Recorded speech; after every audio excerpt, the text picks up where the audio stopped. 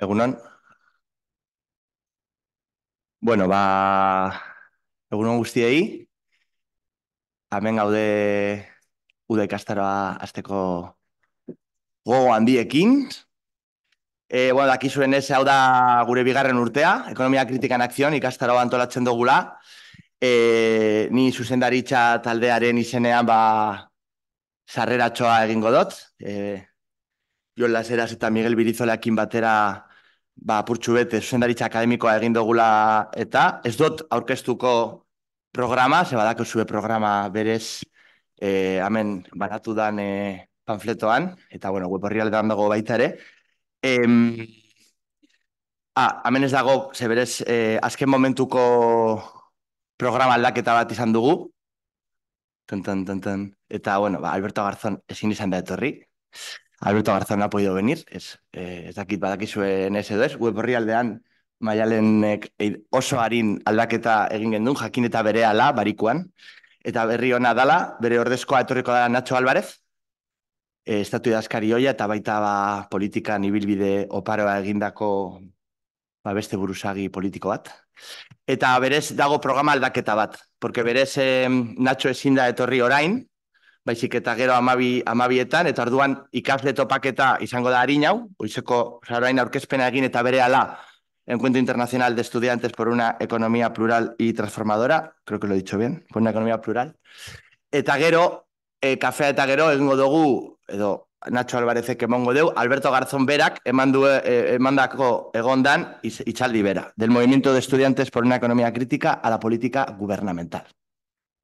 Hori eta gero, programa guztia printzipioz bardin jarraituko dau, arratsaldean, bihar goizean, atxo egon gara etorri diren ponente batzuekin, badakizue eta programan jada aspaldin publikatua dagoen e, egitera bada.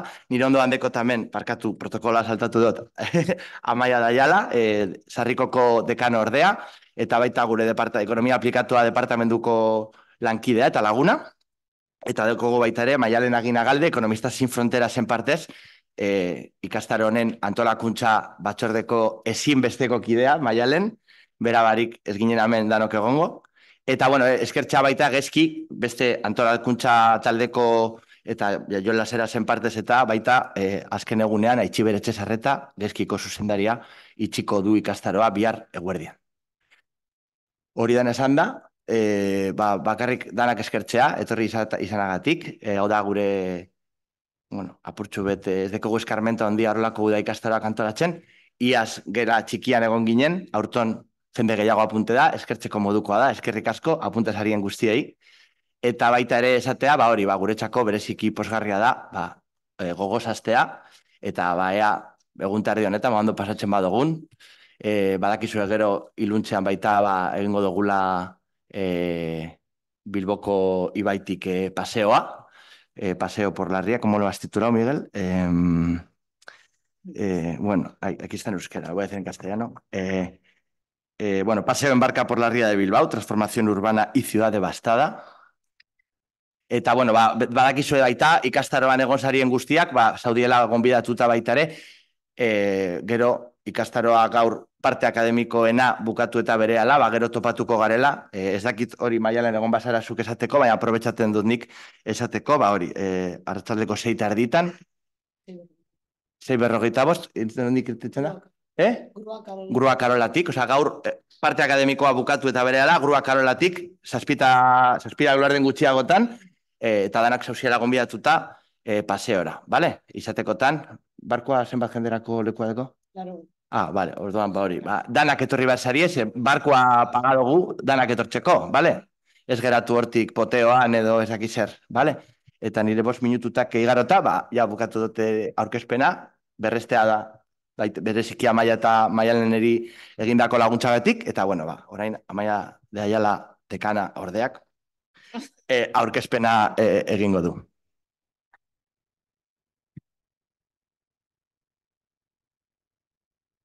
Vale, eskerrik asko, Jonber. Bueno, egunon guztioi, buenos días a todas y a todos, eta ongietorri Euskal Herriko Unibertsitatearen udako ikastaroetara. 2008 laugarren urteko dizioa dugu aurtengoa, Guztira, laro mabi ikastaro daikoguz, jakintza arlo desberdinetan banatuta. Ekonomia eta enpresa esparruan amabost ikastaro ditugu, eta horietako bat ba, gaurkoa dugu, Ekonomia Crítica en Acción 2 por un conocimiento plural y transformador.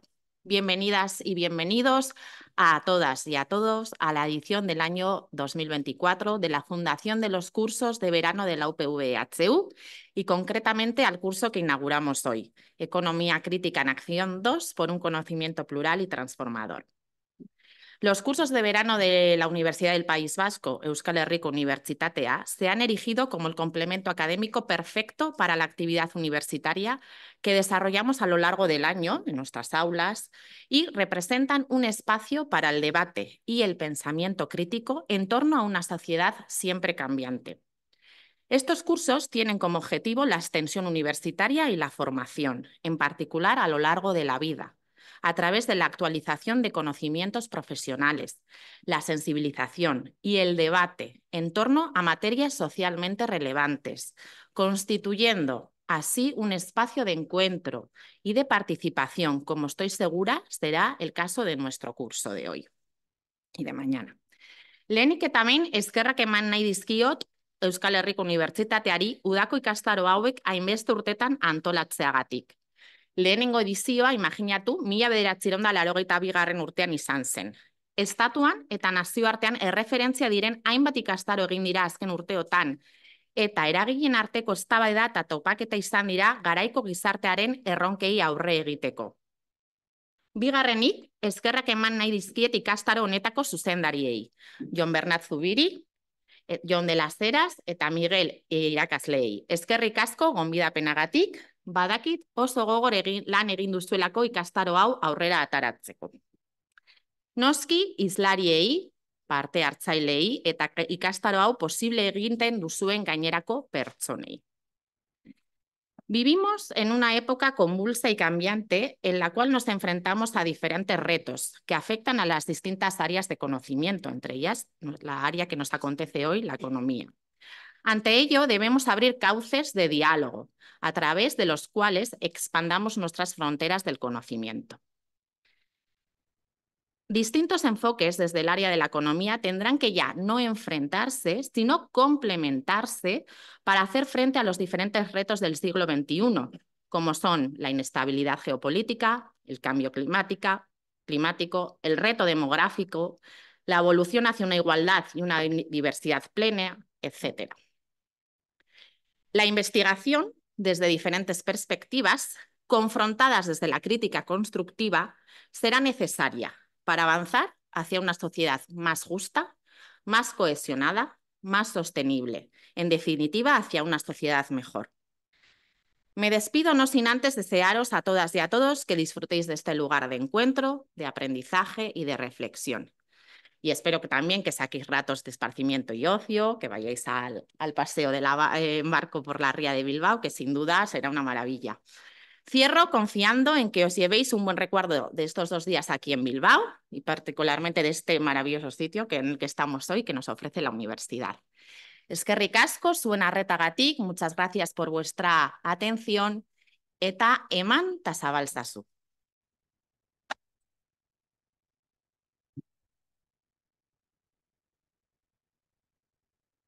Kaixo, vale, bueno, kaixo egunon, e, bueno, ni maioren naiz, e, mila esker lehenek eta behin, e, honea bai presentzialki eta bain online etorri zaten guztioi, bai e, izlariei eta baita e, parte hartzaile guztiei. Eh, bueno, también me sumo a daros las gracias a todas y a todos los que habéis venido aquí eh, como asistentes, tanto presencialmente como online. Y bueno, también es que ricasco a John y a Maya por, por estar aquí con, con, nosotras y también a los directores, por supuesto. Eh, bueno, antes de nada quería eh, recapitular un poco lo que ha comentado John en castellano para que estemos todas en el mismo punto. Eh, comentaros, bueno, tenéis el programa en mano, ha habido un pequeño cambio eh, porque lamentablemente Alberto Garzón no va a poder venir, eh, pero bueno, en su lugar va a venir Nacho Álvarez, que va a ser también pues, una persona que nos va a poder aportar mucho durante este curso. Entonces, Entonces, por eso eh, ha habido un pequeño cambio en la programación y de 10 a 12 vamos a tener el encuentro de estudiantes por una economía plural y a las 12 y media vendrá Nacho Álvarez con la ponencia principal del curso. ¿vale? Luego, como ha comentado John también, esta tarde tendremos el pase por la ría, eh, a la que por supuesto pues estáis todas invitadas. Eh, será a las 7 menos cuarto en la grúa Carola, que bueno, para las que no sois de aquí, pues luego os explicaremos dónde es para que nadie se pierda. Y bueno, como ha dicho John, pues no, no os vayáis de cañas porque también vamos a tener cañas en el barco, así que no hay excusa para no venir, va a haber comida y bebida, así que a estáis todas invitadas. Entonces, bueno, yo quería comentaros, yo vengo de Economistas sin Fronteras, que es una organización que lleva más de 25 años trabajando por una economía más justa. Trabajamos eh, tanto en el ámbito universitario, eh, bueno, en todos los ámbitos educativos, de FP, secundaria, bachillerato y universidad, y también trabajamos el emprendimiento desde la, desde la economía social y solidaria. Entonces, dentro de este, de este trabajo que hacemos en la universidad, llevamos ya varios años colaborando con la, con la Universidad del País Vasco, Euskal Herriko y esta es la, la quinta edición del, del, curso que realizamos en, en este espacio gracias a, a, los cursos de verano. Eh, bueno, en estos, en estos espacios siempre hemos intentado eh, pues, trabajar ¿no? el enfoque, un enfoque crítico de la economía eh, para incorporarlo en la universidad de una forma práctica. Y esta ha sido la línea general que hemos trabajado a lo largo de los cursos y gracias a la colaboración que hemos tenido eh, desde el año pasado con, con nuestros actuales directores, pues eh, a partir de ahí queremos profundizar en este conocimiento colectivo que estamos construyendo para pues, eh, cambiar los planes docentes e incorporar una economía plural en el ámbito universitario. Eh, en esa línea esperamos continuar eh, pues, eh, realizando estos espacios más adelante y por eso nos gustaría dar las gracias a, las entidades que han hecho posible este, este, espacio en términos de financiación, entre ellas pues GESCI, el Instituto de Economía Social del País Vasco, de la Universidad del País Vasco, también el Ministerio de Derechos Sociales, Agenda 2030 y Consumo y la ECID, la Agencia Española de Cooperación. Eh, vale, entonces, bueno, por mi parte como presentación sería esto. Eh, bueno, daros las gracias a Johnny y a Maya por, por estar aquí y si os parece, pues vamos a pasar con la primera actividad de hoy, que va a ser el, el encuentro de estudiantes por una economía plural. Vale. Recasco. Vale. Vale, bueno, para eso voy a llamar a Carlas. ¿Dónde está? voy a llamar a Carlas a que suba conmigo y vamos a dar paso a la primera actividad, ¿vale? Bueno, no lo he dicho, pero eh, este curso está hecho para que contribuyamos entre todas, por eso para nosotros es muy importante que participéis, tanto las que estáis online como las que estáis aquí. Queremos que sea algo participativo, eh, de discusión, de reflexión. Siempre vamos a tener un espacio de preguntas al final y la idea es que podamos eh, construir entre todas pues bueno, este conocimiento que estamos aquí trabajando. ¿no? En ese sentido, queríamos hacer pues algo participativo también, ¿no? que fuera activamente práctico y bueno, aquí para empezar ya el lunes por la mañana, pues ya nos vamos a poner a trabajar todas, ¿vale? Entonces yo simplemente os quería contar un poco, eh, antes de darle paso a Carlas, el, un poco el contexto ¿no? en el que se celebra este encuentro hoy. Este encuentro eh, nace bueno, del trabajo que lleva haciendo Economistas sin Fronteras desde hace mucho tiempo en el ámbito universitario. ¿no? Economistas nació eh, pues, precisamente con varias profesoras y profesores que estaban descontentos con, con, la enseñanza de la economía en la universidad porque veían que efectivamente estaba eh, basado únicamente en un modelo neoliberal y no contemplaba pues, conocimientos eh, de otras corrientes y tampoco contemplaba el impacto social y medioambiental negativo que tiene este, este sistema en nuestro planeta ¿no? y en las personas. Y a partir de ahí se comenzó a trabajar pues, por cambiar esta, este conocimiento y para crear un, una reflexión crítica en la, en la universidad. Eh, por eso llevamos trabajando pues, eh, muchos años desde la educación para la transformación social para cambiar este, este panorama en la universidad y que efectivamente haya un, una economía plural y crítica dentro de los planes docentes. Esto lo realizamos tanto con cursos como este o charlas pueden ser en el ámbito universitario, pero también a través de, de herramientas y recursos que puedan ser útiles para el profesorado y para que puedan implantar estos conocimientos eh, de economía plural en su, en su aula. En este sentido, hemos trabajado tanto con profesorado colaborador como con también alumnado eh, a través de las diferentes eh, asociaciones estudiantiles que tenemos en el Estado que trabajan precisamente estos conocimientos y que ellas y ellos mismos ven que hay una lacra en, en los planes educativos que, que, ellos reciben y que por lo tanto quieren transformar esto y quieren incorporar otros conocimientos a su, a su experiencia académica a la universidad. ¿no? Eh, a partir de aquí, pues bueno, Economistas sin Fronteras ha estado acompañando en todo este proceso junto con varias asociaciones.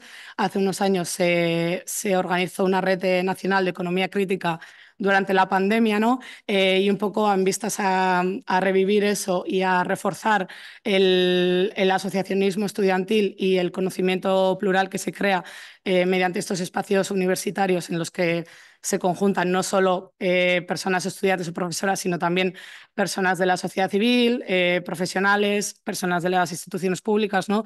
Queríamos crear este espacio para eh, reavivar este movimiento y crear pues, conocimiento conjunto sobre cómo poner en práctica este conocimiento eh, plural y transformador de la economía en el ámbito universitario. Para ello nos hemos querido eh, aliar con la red Rethinking Economics, que para aquellas que no lo conozcáis es una red que a nivel mundial eh, trabaja precisamente la incorporación de una economía plural en los planes educativos de todo el mundo. Tiene, es una red que engloba eh, redes nacionales y luego también engloba varias asociaciones estudiantiles de cada, de cada país. Y para ello pues, nos ha parecido interesante aliarnos con ellas para... Mm, para pues, compartir este conocimiento ¿no? de cómo también movilizar al alumnado de cara a incorporar eh, pues una economía crítica en el ámbito universitario. Eh, por ello, me gustaría invitar a, a Carla Sparé, que es miembro de, de, Rethinking Economics, quien dinamizará este encuentro junto con el resto de activistas que hemos, que hemos invitado hoy aquí. Eh, Carlas es recién graduado del doble grado de Derecho y Economía de la Universidad Pompeu Fabra. Eh, ha formado parte de la, Asociación Estudiantil Postcrash durante cuatro años y en estos momentos es miembro de Rethinking Economics, eh, pues organizando varios workshops a nivel, a nivel europeo. Eh, también ha sido asistente de investigación en varios, para varios diversos investigadores en el ámbito académico. Entonces, bueno, antes de darle la palabra a Carlas, quería comentaros que para aquellas que estéis estudiando en la universidad o estéis en asociaciones estudiantiles y queráis saber un poco más sobre Rethinking Economics, vamos a lanzar una sesión online e informativa dentro de dos semanas, justamente el lunes 29 a las 5, para que pues, eh, aquellas asociaciones que queráis conocer más sobre la red y veáis pues, cómo os puede ayudar, cómo se pueden crear sinergias para, para pues, eh, eh, impulsar y fomentar estos espacios críticos, pues ahí tendréis la oportunidad de conocer más sobre la red, eh, hacer preguntas y ver pues, eh, cómo se pueden generar nuevas alianzas, ¿vale? Más allá de lo que vamos a trabajar hoy aquí. Entonces, bueno, eh, recibiréis por mail esta información y la convocatoria para aquellas que estéis interesadas. Eh, así que, bueno, en ese sentido, pues no os preocupéis porque os podemos hacer llegar la información. Eh, así que nada, esto es por mi parte. es Casco, gracias Carlas por, por estar aquí. Y ya, bueno, pues te cedo la palabra para que también pues invites al resto de, de personas invitadas y ya nos pongamos a, a trabajar entre todas. Es Casco.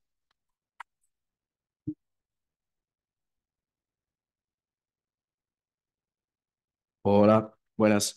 Em, yo no soy Garzón, soy más joven y menos interesante que Garzón, pero espero que con el elenco que nos han, que han invitado aquí pues sea igualmente interesante la sesión de hoy. Em, también creo que es interesante porque hemos intentado hacer algo más participativo, pa, porque si tenemos que estar dos días aquí pues para conocernos un poco también y para que cada uno pueda aportar un poco en, en lo que, en, en donde más se está trabajando. Entonces, normalmente presento un poco Rethinking Economics, pero Mayalena ha hecho una muy buena presentación. para especificar un poco ya cosas más concretas que se hacen, pues de Rethinking Economics han aparecido másters como el IPO, que es un máster, un Erasmus Mundus, que se quiere decir que se hace por todo el mundo. Um, um, entre otras cosas, han salido think tanks, han salido libros, han salido materiales docentes para enseñar economía crítica y cosas de estas. Cosas muy similares a lo que, a lo que se hace desde Economistas sin Fronteras, pero desde el estudiantado Em, y en todo el mundo. Entonces, la idea de esta sesión es un poco eh, conectar los esfuerzos que hay en todo el territorio en respecto a economía crítica para tejer relaciones un poco en la línea de lo que comentaba Mayalen. Em, para hacer, ah, iba muy bien que eh, Garzón estuviese para explicarnos un poco lo que había em, pues antes de 2011. Ayer John comentaba que del 2004 al 2011 hubo, hubo una, como una red nacional em, que sería como lo que ahora en, Rethinking hay en Alemania, en Dinamarca, en la India, en, en, Gran Bretaña, en Argentina, que hay redes nacionales de grupos estudiantiles, asociaciones universitarias o no, que se juntan para poder, para, poder hacer cosas a nivel nacional. que esto va desde planes docentes en la universidad y se expande a cualquier otro ámbito. entonces, un poco con la voluntad de conectarnos, eh, tejer red, hacer, eh, para poder hacer cosas más grandes. hemos intentado diseñar esto junto con el resto de, gente que ahora presentaré. Así que ahora, les presento un poco y espero que resulte interesante. Em, me acompañará Javier Esteban, de Economistas. en teoría están por la sala, así que va a ser un poco como performático. No está planeado, pero va a quedar así, que ni tan mal. Pues Javier Esteban, de Economistas sin Fronteras. ¿Sí? Queda, queda... Dale, vea. Eh, pues bueno, pues subid todos y os voy presentando mientras subís, si queréis. Eh, Javier Esteban de Economistas, eh, Paula García de Postcrash, que es donde, donde, vengo yo también, de la Pompeu, en Barcelona. Isaac Vázquez, que viene de, de, Madrid, de Economía Alternativa. Lara Campos, que viene de Estudiantes para una, para una Economía Crítica en Málaga y Eneco, que, que viene de Economía Crítica de Aldea. Ahí está. Ahí está. Entonces, eh, os cuento un poco la estructura de la, de la, sesión después de esta introducción aburrida. Em, haremos un poco en la línea de lo que Joan Robinson defendía un poco, em, que la especialización es lo que lleva un poco al desarrollo. Haremos un poco de especialización, cada uno de nosotros cogerá un tema, un, un grupo. Em, lo, hemos, lo hemos intentado pensar para que todo el mundo pueda tener algo de interés. Entonces, cada uno presentará el tema de lo que tratarán en su subgrupo y vosotros, vosotras, podéis escoger a dónde vais y un poco dinamizaremos para que, salga un poco de contenido y que esto no se quede aquí, que no se quede en Bilbao, sino que de aquí salga algo más, cada uno en su tema, en los seis temas que hemos propuesto, y que haya una continuidad que no sea solo Bilbao, sino que haya una continuidad y que a, ver si el año que viene pues, se puede continuar de desde lo, que se ha creado aquí.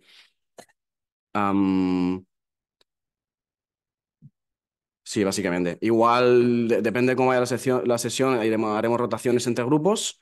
Si hay gente que tiene intereses diversos que quiere participar en, otras, eh, en otros subgrupos y después hacemos, haremos pues, un poco una conclusión.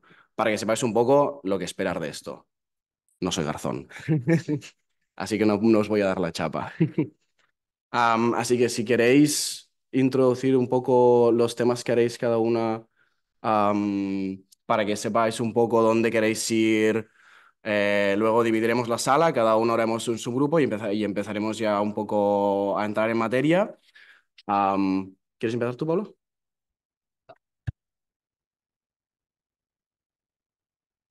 Bueno, pues muy buenos días. Yo soy Paula García de Postcrash UPF eh, de Barcelona como Peri. Nosotros sí nos conocíamos de antes, he tenido esta suerte. y aunque no nos hemos visto mucho por la asociación, sí que es cierto que nos ha dejado una base súper sólida y unos contactos maravillosos. Ah, y bien, yo os voy a presentar básicamente el grupo que voy a moderar yo. La idea básicamente es crear red nacional, ser capaces de hacer que esto de la economía crítica y la heterodoxa, pues llegue a ser un poco más formal en el sentido de asociación estudiantil y sobre todo que no estemos desconectados por la península y seamos capaces de incluso llegar a ver em, que, bueno, que creemos en cada una de las asociaciones o grupos de estudiantes o de lo que seamos ah, en cada parte de España e incluso más si tenemos audiencia de Latinoamérica incluso. y bien, una de las cosas que es importante definir ¿no? cuando hacemos cosas como estas es de qué temas queremos tratar. Y yo me voy a encargar básicamente de moderar el grupo para definir exactamente cuáles son los temas que nos parecen más importantes. eso depende puramente de nosotros, ¿no? Por eso estaremos aquí. Es importante que nos conozcamos más, que nos cogemos confianza, no solo para que nos atrevamos a decir qué es lo que verdaderamente nos importa o nos interesa para hablar más adelante a nivel como nacional, ah, pero también para que seamos capaces de coordinarnos, atrevernos a mantener el contacto y que haya red. Y bien, en definitiva, esa es la función que haré yo en el grupo que moderaré. Muchas gracias.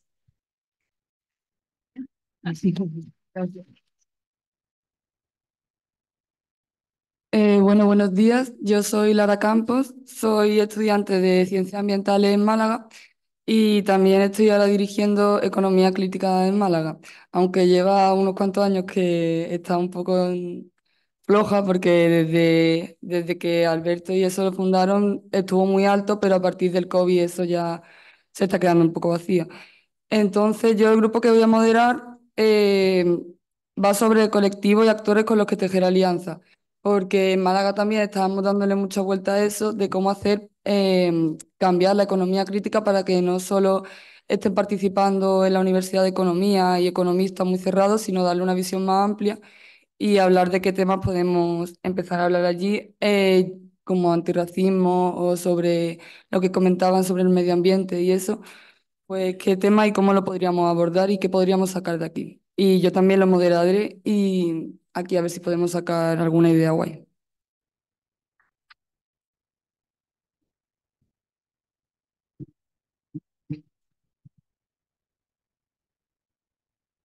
Ahora. Em, em, vale, yo haré un poco la parte de... No sé si sabéis que hace dos días se fundó un- una red que se llama INDEP, que es eh, International Network for eh, Democratic Economic Planning, que es una red internacional. Em, la idea un poco de mi sesión es que este conocimiento llegue rápido a, to- a todo, a todo el mundo aquí en España. y esto pasa en parte por hacer un poco de formalizar un poco una red. Así que mi sesión, la idea va a ser un poco a ver de, qué formas, qué necesidades tenemos y de qué formas podemos un poco formalizarnos, no a nivel de hacer, una asociación o lo que tenga que salir, pero que al menos haya canales de comunicación entre asociaciones, entre, entre Málaga, entre, entre Barcelona y Madrid, y para que se creen más, para que las que están, para que las que están creadas tengan continuidad y no tengan los problemas que tenemos en Barcelona y en Málaga, de que los ciclos universitarios son de cuatro años, eh, entonces hay mucha rotación y es difícil que haya continuidad. Así es más o menos lo que vamos a intentar hacer en mi grupo, entender qué necesidades tenemos para intentar tejer un poco de red nacional ya un poco en más nivel formal. A ver si, aparte de hacernos amigos, también podemos hacer cosas guays como activistas.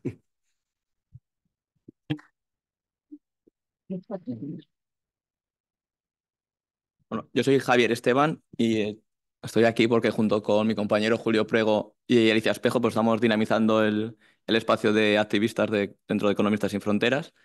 Y voy a estar dinamizando hoy la sesión de experiencias exitosas y aprendizajes pasados porque pensamos que más allá de todo que queramos pensar y reformular cómo queremos hacer el activismo económico, pues también pensamos que donde toda nuestra trayectoria, tanto en estos espacios de los que formamos parte, como en todos otros, de aquellas en las que estáis en el público, incluso las que están online, pues hemos tenido todas experiencias exitosas de las que hemos ido bastante contentas y con bien de energías y pues eso, nos consideramos que es importante compartirlas, a pesar de que, bueno, que al final cada contexto territorial, incluso temporal, son diferentes, pero bueno, siempre se pueden extraer aprendizajes y por eso queríamos crear también como ese espacio, ese grupo en el que poder compartirlos entre todas. Así que sí que va a ser un poco especial porque es el que vamos a hacer online con todas aquellas que estén conectadas, pero bueno, igualmente estáis bienvenidas todas las que estéis aquí así presencial y así también estoy acompañado y no estoy yo solo con una tablet, que siempre se agradece.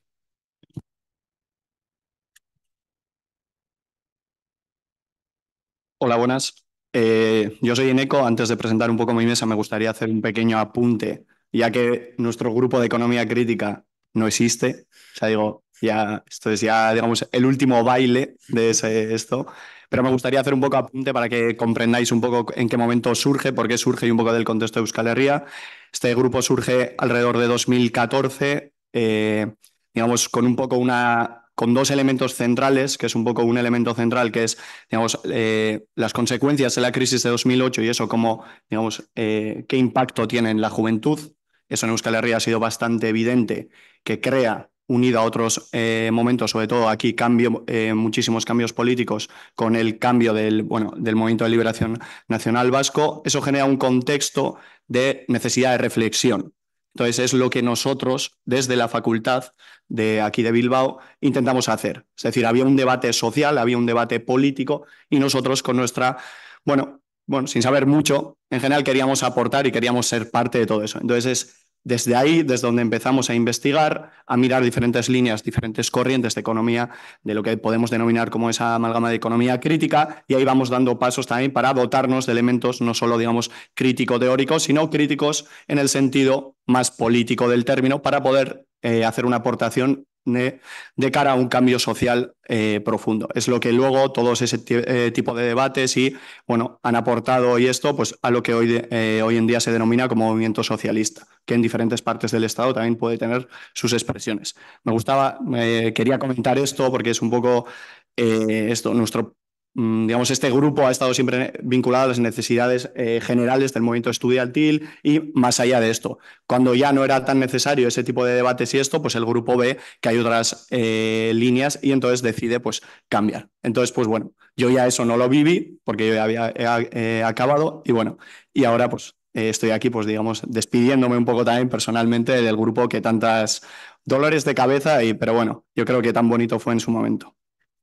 Mi grupo de trabajo eh, será un poco de cara, porque yo he padecido, digamos, eh, ser alumno de economía y ahora soy profesor, así que ahora soy el verdugo de otra gran, eh, de otros pobres chavales que quieren estudiar economía. Entonces muchas veces surge esa idea de decir, ¿cómo podemos cambiar lo que, eh, lo que damos? Que esto, muchas veces surge esa idea, yo creo que muchos compañeros y tendréis, ¿cómo podemos hacer una economía diferente? ¿Cómo podemos trabajar eso con el alumnado? ¿Cómo podemos generar interés eh, al alumnado? Entonces, eh, la idea de nuestro grupo es un poco poner esa necesidad encima de la mesa, compartir experiencias, eh, poder crear pues, herramientas para poder hablar, bibliografías. O sea, digo, seguro que aquí hay muchas ideas y un poco la idea es que el grupo sea, eh, con esto además ha habido experiencias en este ámbito, entonces, pues bueno, un poco para escucharnos y que no siempre hay opción de pensar un poco y darle vueltas a nuestra práctica docente. Y ya me callo y ya le dejo al compañero.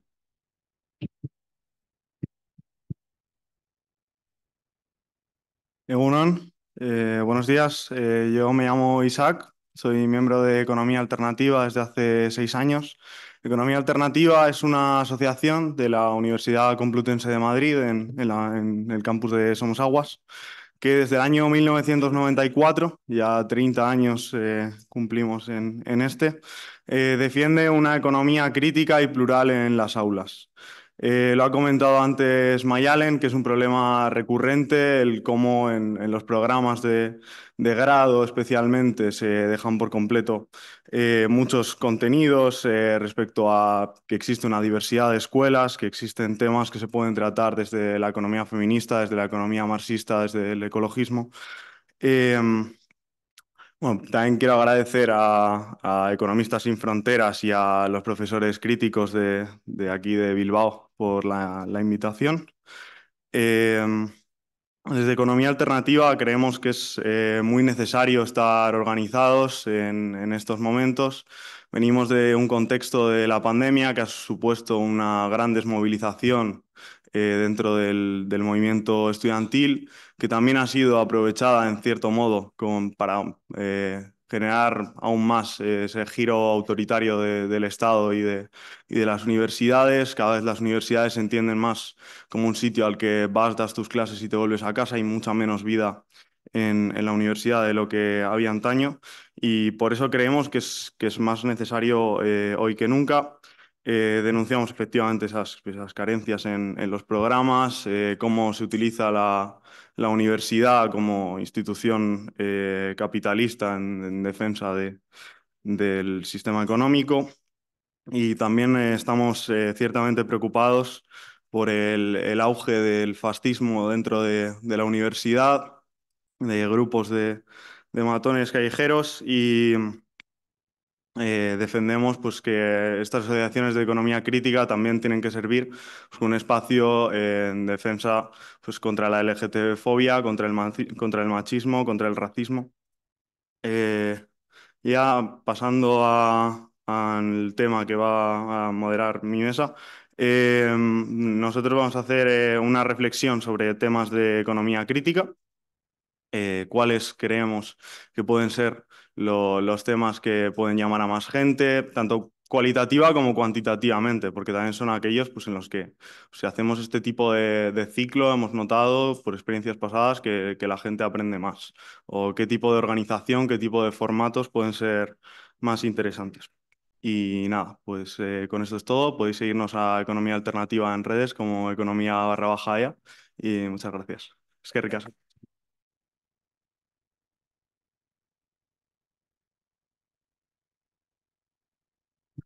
Pues nos repartimos cada uno por la sala, eh, escoged el grupo que os interese más y pues movemos las sillas y ya empezamos.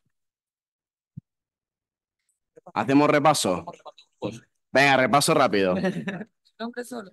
No, el del tema del grupo, del tema del grupo. Rápido, rápido. Pues Paula García, ¿qué temas nos, nos interesan más? Eh, Lara Campos, colectivos y, alian y colectivos y actores con los que tejer alianza. Eh, conmigo, Carlos Paredes, haremos eh, tema de red nacional. Bueno, Javier Esteban y experiencias y aprendizajes pasados. Eh, en ECO, cómo generar una práctica docente alternativa o crítica. Isaac, eh, reflexión de temas de economía crítica.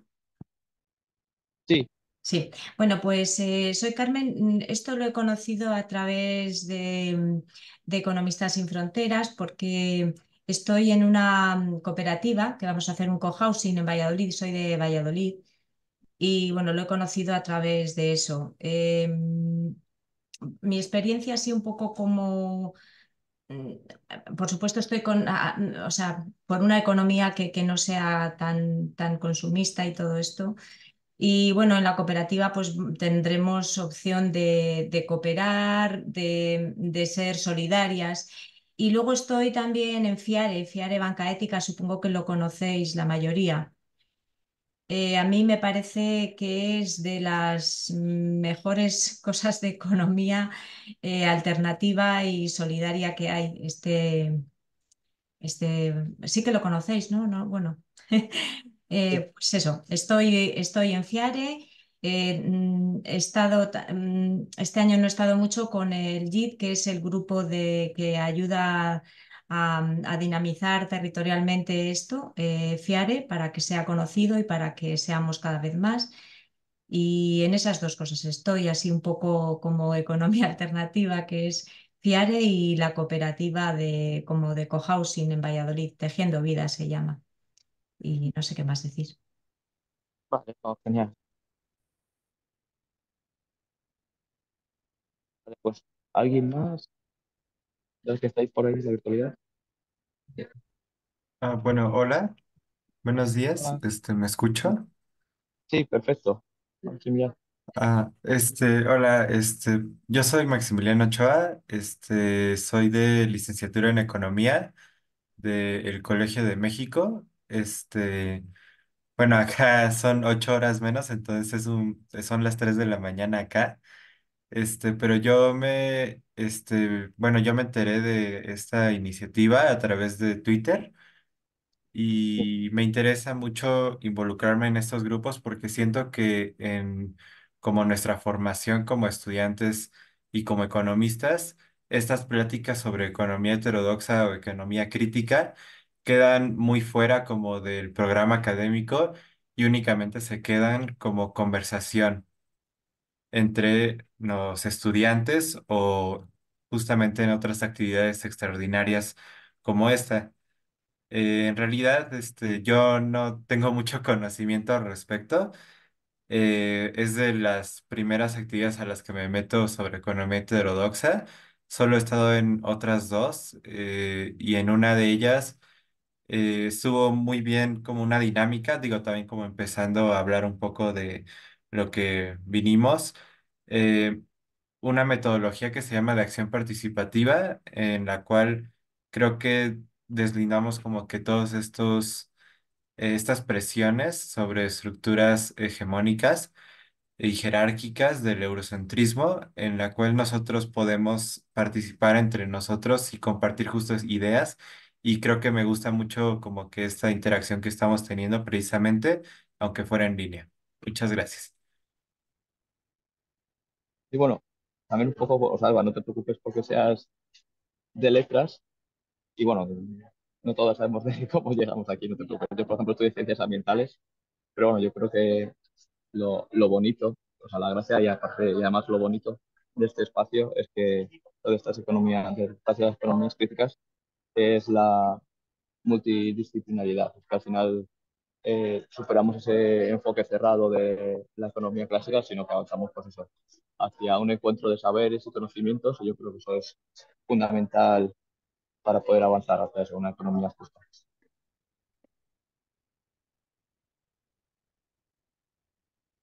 Vale. Así que ahí tampoco es porque eso, porque está lleno de espacio más gente. Nada, no pasa nada, no, no te preocupes. Y del resto, no sé si Gloria y hay Chiver, creo que serían como las dos únicas personas también ahí por compartirnos. Pero bueno, pues si queréis, si no, de momento entre pues, Maximiliano y Carmen, no sé si nos queréis compartir, pues más o menos ya por centrarnos. Y bueno, vosotros también, Alba y Chad, no lo podéis ir dejando por el chat, yo estoy, estoy atento a los mensajes que os dejáis, de eso, de si habéis participado, si queréis podemos empezar con eso. Un poco, bueno, Carmen ya nos ha hablado de eso, de que participa activamente en FIARE, Maximiliano también nos ha hecho, ha contado un poco de, del espacio que no sé si no he terminado de entender, Maximiliano, pertenece ahí a la universidad en la que estás o no, pero bueno, pues, o si nos queréis contar el resto de algún otro colectivo, que no tiene, no tiene por qué ser ese, otro colectivo de, la, de los movimientos sociales o de la sociedad civil organizada en el que hayáis participado a lo largo de vuestra vida, pues, porque nosotros, es decir, yo junto con otras compañeras estamos justo arrancando, bueno, llevamos ya como un año, el grupo de, de activistas aquí dentro de, la Organización de Economistas Sin Fronteras y eso siempre nos parece interesante aprender, es decir, porque, pues, por ejemplo, una de las de los grandes retos que tenemos es que queremos, aunque seamos, somos o sea, un grupo que estamos radicados en Madrid, pero queremos hacerlo a nivel estatal. Nuestra, de hecho, son nuestras reuniones. Siempre pretendemos que sean eh, en formato híbrido de online y presencial para que pueda participar el resto de gente. Yo sin problema, o sea, yo me he conectado.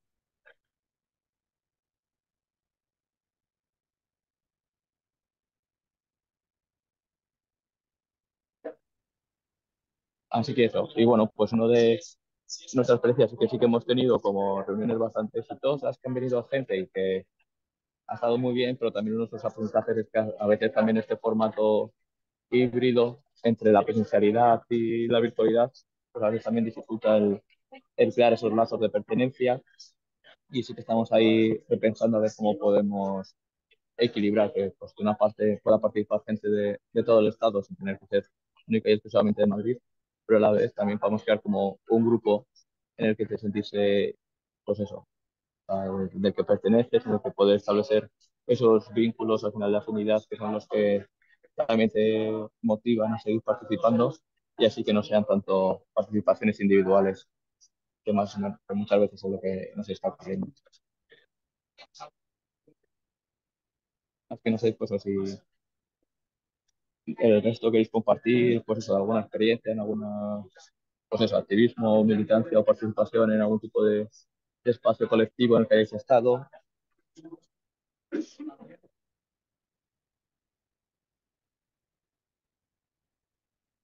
Ah, estamos en el, o sea, yo pertenezco a Economistas Sin Fronteras, que es la, pues, la ONG también en la que está Mayalen, que como decía, pues se originó a raíz de, sobre todo, la universidad, de profesores y profesoras universitarios que no estaban cómodas con ese, esa docencia universitaria que estaba haciendo la economía y dentro de esa organización hemos creado pues, el, colectivo que llamamos economistas, o sea, activistas, perdón. Simplemente por eso, porque aunque había antes un grupo de, de voluntariado, pues tras la pandemia, como nos ha contado Isaac, de, pues nos dimos cuenta que se había como paralizado mucho y demás. Así que pues, a comienzos del año 2023 decidimos iniciar, arrancar ese grupo de activistas en el que no solo hicieran una participación dentro de, de nuestras actividades, sino también para un espacio más de autoformación. Nos reunimos pues eh, mensualmente, hacemos unas reuniones pues tanto, como decía, tanto virtuales y presenciales, en las que nos vamos autoformando a través de pues, con temas de actualidad que va proponiendo el propio grupo y lo vamos diciendo y así nos vamos debatiendo y vamos reflexionando y vamos aprendiendo entre todas. Se llama activistas.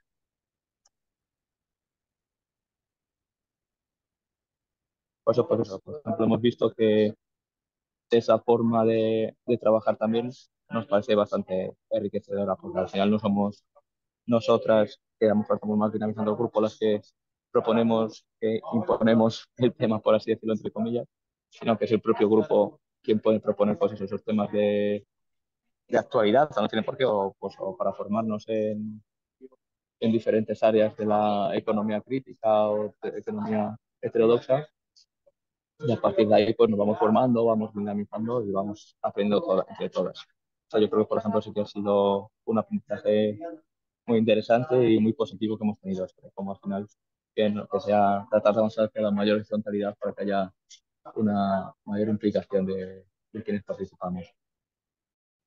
Bueno, como nadie dice nada, quería comentar eh, que, bueno, pues eh, yo no tengo así como más activismo, ¿no? Mm, aparte de lo, de, y esto, eh, pero he estado, he estado estudiando como para la cooperativa necesitábamos a alguien que conociese algo, pues sobre todo de contabilidad, no tanto como economía, pues he estado haciendo eh, una FP de grado superior de economía y finanzas.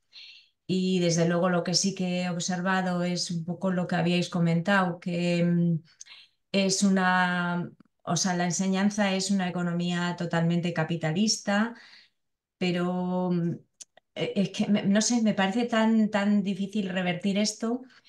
En la clase yo propuse eh, que se podía hacer, y lo hicimos, una presentación de FIARE en, en las clases de economía y finanzas y bueno, pues eh, estuvieron los alumnos, yo creo que no tenían mucho interés, pero el profesor dijo que había que estar, que si no se, se quitaban puntos. Y allí estuvieron. Y luego, mm, pues mm, se, recogió, se quería recoger eh, correos electrónicos y eso por si hubiese interés y realmente solo una persona tenía interés. O sea, no sé, veo que es difícil esto, realmente hace falta moverlo.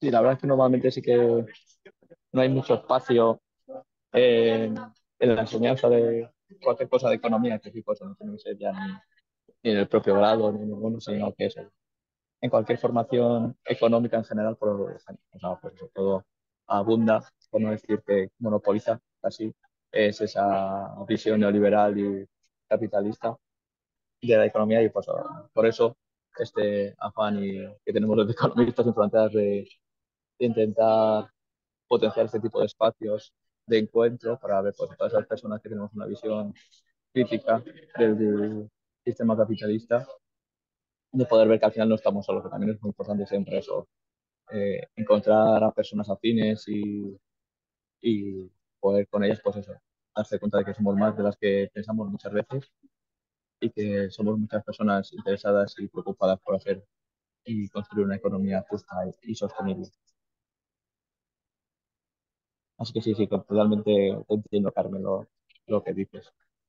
de hecho, eso desde, eh, como también decía Mayalena antes en la presentación, nosotros trabajamos mucho con, ahora también con, eh, en secundaria y en formación profesional, por eso, porque, por ejemplo, yo que vengo de Madrid, allí en la Comunidad de Madrid, las claros de formación profesional sí que están, han incluido todos una asignatura que se llama Iniciativa Empresarial, me parece que es, y claro, pues es una iniciativa empresarial con un sesgo capitalista pues bastante neoliberal muy, muy, muy presente. O sea, no, por supuesto, no hay nada de, desde una perspectiva de la economía social y solidaria y por eso sí que, como hay ciertos profesores de economía con esas preocupaciones, es ahí donde sí que contacta con nosotras y nosotros podemos ir a, a dar esa formación y ofrecerles esa, esa, alternativa que no solo el emprendimiento tiene que ir desde esa visión individual y neoliberal que, que tanto se vende, pero que no es tan, tan falsa es.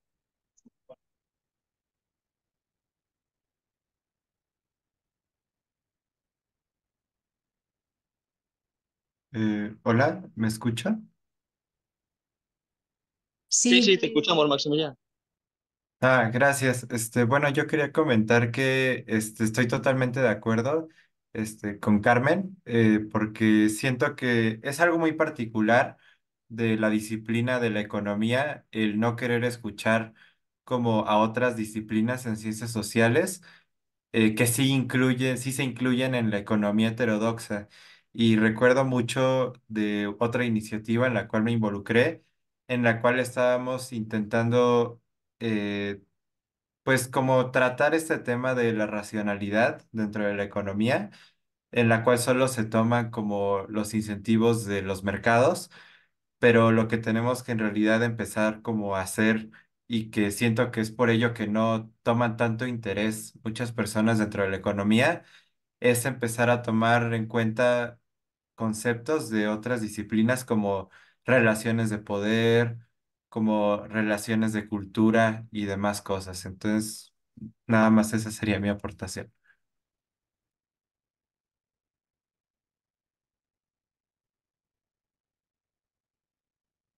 Y para Maximiliano, una duda, como pues, es- o sea, totalmente de acuerdo que es muy importante de traer, pues, como decías tú, de relaciones de poder, de interseccionalidad, pues, o de esos aprendizajes desde otras áreas de conocimiento. ¿Vosotros lo hacéis a partir de, pues, de lecturas y luego algún tipo de grupo de lectura? ¿O cómo más o menos os organizáis para tratar de integrar esos conceptos ahí en los espacios, en el espacio en el que nos decías que participas?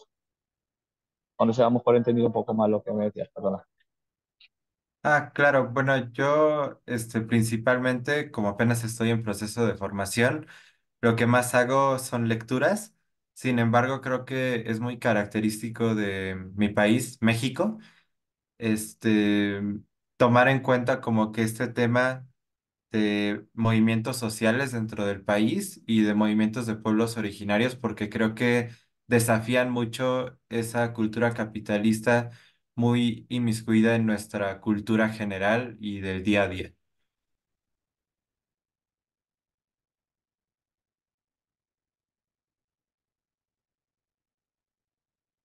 Vale, vale, genial, muchas gracias. Y sí, totalmente de acuerdo que eso, que ya de todos los sea, tenemos que aprender siempre de los movimientos sociales, de esos, eh, pues de esos- de los movimientos, o sea, de los pueblos originarios, porque hoy tenemos una, unos, pues eso, unos grandes saberes, muchas además experiencias también, que por eso, o sea, aparte de lo que queríamos aprender y compartir en, en este espacio, porque ahí hay una gran trayectoria con muchas presidencias exitosas y muchas formas de organización de las que todas podemos aprender. Y sí, por eso yo creo que son las cuestiones de relaciones de poder que se atraviesan también en todos los espacios y cómo identificarlas y tratar de, de romperlas eh, me parecen a mí fundamentales.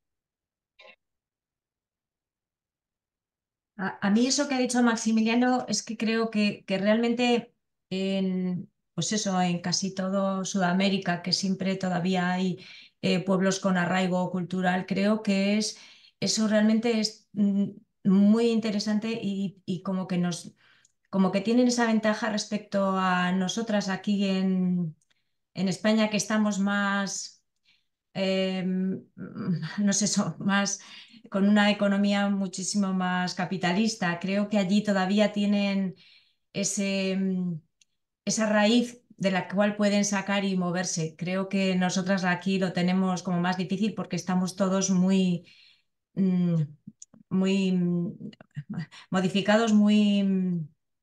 Eh, o, o sea, que nos han influido mucho esta, este tema de economía y ya desde hace mucho tiempo, como que nos faltan esas raíces de las cuales podríamos sacar otra forma, o sea, que tenemos que generarla como de nuevo y ahí la tienen que todavía pueden agarrar esas raíces de una economía más, más social y más de grupo. Claro, muchas gracias. Este, concuerdo totalmente y creo que este es muy importante traer a la mesa que para un estudio como tal de economía heterodoxa es muy importante incluir al sur global en general porque justo creo que tenemos como que esas todavía arraigos culturales que tal vez nos permiten oponernos eh, a precisamente estas como ideas neoliberales y de economía que todavía están muy arraigadas y muy como em, muy influenciadas por el eurocentrismo y pues en general, o sea, como que toda esa economía desarrollada eh, por los neoclásicos y como que cerrando a la economía de otras disciplinas y justo llevando a una arrogancia muy notoria dentro de la disciplina como tal.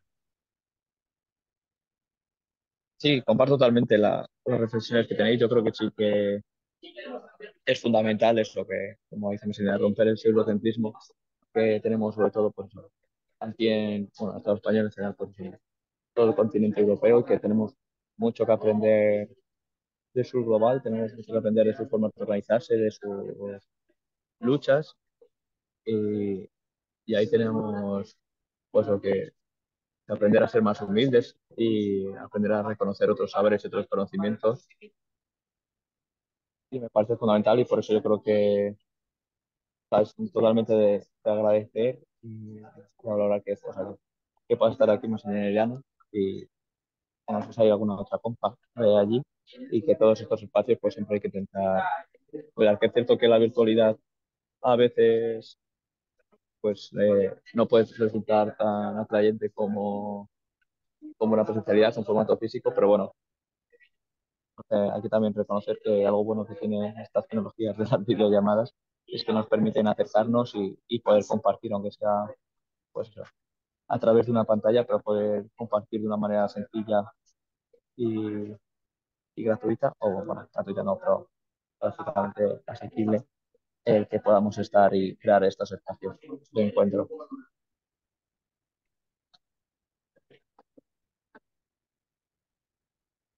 No sé si Isadi, bueno, si estoy pronunciando tu nombre, perdona si no. O Alba, no quieres compartir, o Gloria, algo por, por el chat. Por la Perdona.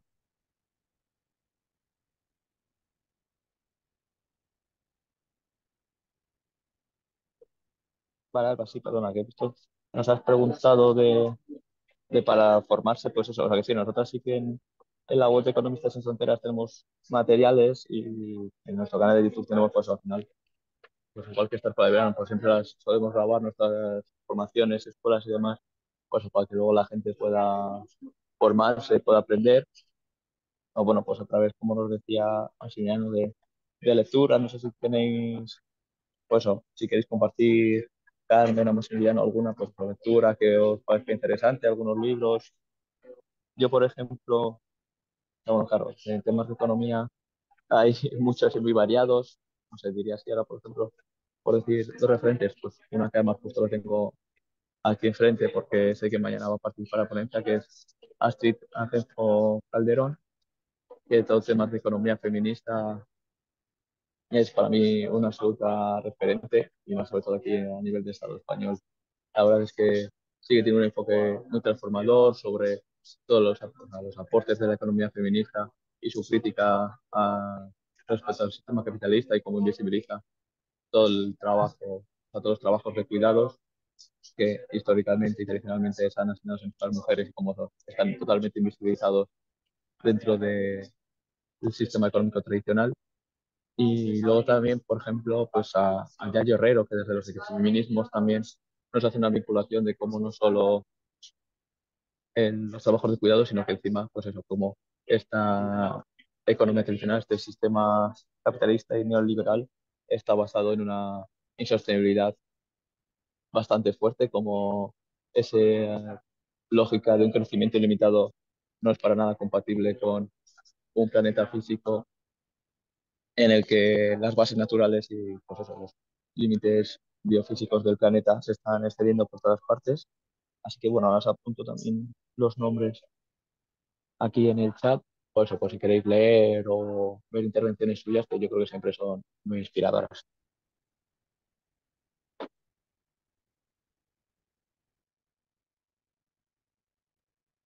Este, claro, bueno, este, voy a compartir este, un, una lectura que justamente era de lo que hablaba sobre la racionalidad. Este, pero creo que en general, eh, no sé si a todos les llegaron las lecturas que nos compartieron para el curso, pero creo que en especial el artículo eh, de Carolina Alves sobre los este, mitos de la economía heterodoxa, creo que resume muy bien como los objetivos a los que queremos llegar y en general como las ideas de una economía en la cual estén todas las disciplinas integradas. Maximiliano, me gustaría hacerte una pregunta. Em, mm, bueno, quizás es porque yo es lo que más conozco, lo de FIARE, la banca ética. En México supongo que existe algún, algún banco ético o alguna iniciativa de este tipo. Eh, nada, por si me lo puedes contar. Eh, la verdad es que no, no te sabría decir, este, al menos no está muy presente en México. Siento que todavía tenemos muy arraigado como que, bueno, este, para contexto tantito, es que en México hay muy poca como penetración del sistema financiero en general y creo que precisamente por eso no ha surgido este, un banco ético, como comentas, eh, muy prominente, eh, porque precisamente todavía tenemos un largo camino por llegar a un sistema bancario y un sistema financiero en el cual, eh, pues, estemos estables como tal. No sé si respondí tu pregunta un poco, pero la verdad es que yo no sabría decirte muy bien. ¿Quieres decir que, por ejemplo, pues bueno, aquí mm, casi, casi hay poquísimas cosas que, que se pueden eh, comprar y vender sin pasar por bancos? Eh, lo que quieres decir es que ahí, digamos que em, existe mm, las transacciones más de moneda, incluso para grandes cantidades y, y, y de compra-venta directa sin pasar por bancos. Eh, perdón, ¿podrías repetir la pregunta? Se cortó un poco. Sí, mm, que digo que así como aquí hay, hay eh, mm, digamos, mm, para hacer transacciones, para compras y ventas, hay que pasar por una entidad bancaria. Bueno, de hecho, en España está prohibido hacer pagos en moneda eh, de más de, creo que son mil euros ahora. O sea, quiero decir, todo tiene que pasar por bancos, todo está mm, gestionado por Mm. ellos y, y filtrado. Que si ahí mm, se, mm, se puede hacer transacciones, compras y ventas en, en moneda, en papel, entre, entre particulares eh, de grandes cantidades y hay libertad de, eh, en ese tema.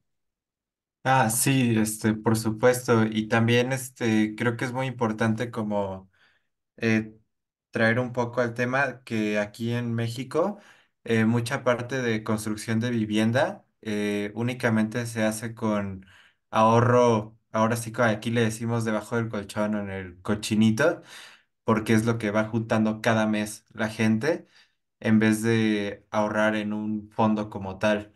Entonces, por eso digo que hay muy poco sistema financiero y sistema de inversión estable.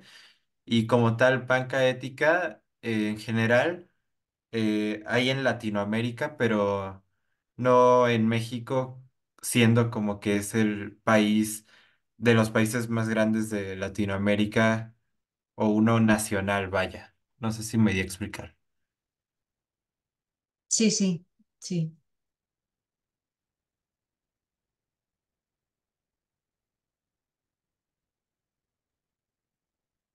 Gracias, Maximiliano, por compartirnos y, y me encanta eso, que hayáis tenido este, este diálogo. Aprovecho también para saludar a Gloria, que nos ha dejado un mensaje por el chat.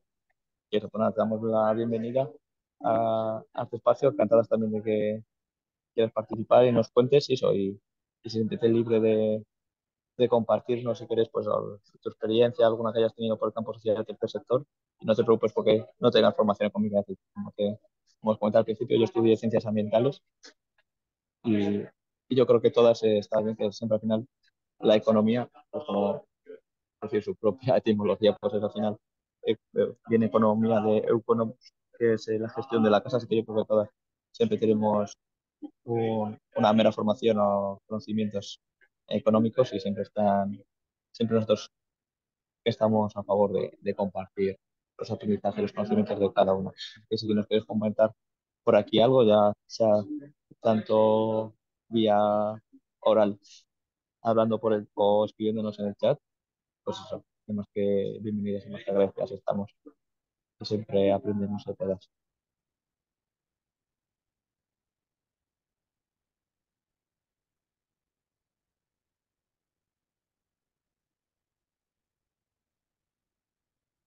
Y Carmen, tú nos contaste eso, que estás en, en FIAR eh, y en FIC, me ha parecido entender, y más o menos eso, pues cómo bueno, no sé si es FIARE Valladolid o FIARE Castilla-La Mancha, no sé eh, la organización, la conozco FIARE, pero no sé cómo se, se organizan territorialmente, si por a nivel de regiones o a nivel de municipios. Y eso, y eso de no sé si nos podéis compartir un poco o comentar cómo, cómo hacéis, cómo os organizáis.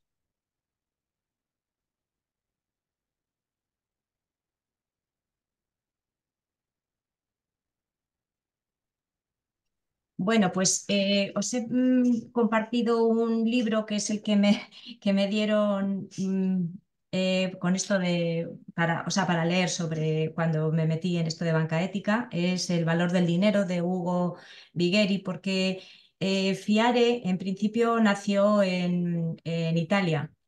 Y en, eh, el momento, eh, hacia el 2014, con esta movilización que hubo pues aquí del 15M, yo creo que empezó a conocer, a darse a conocer esto.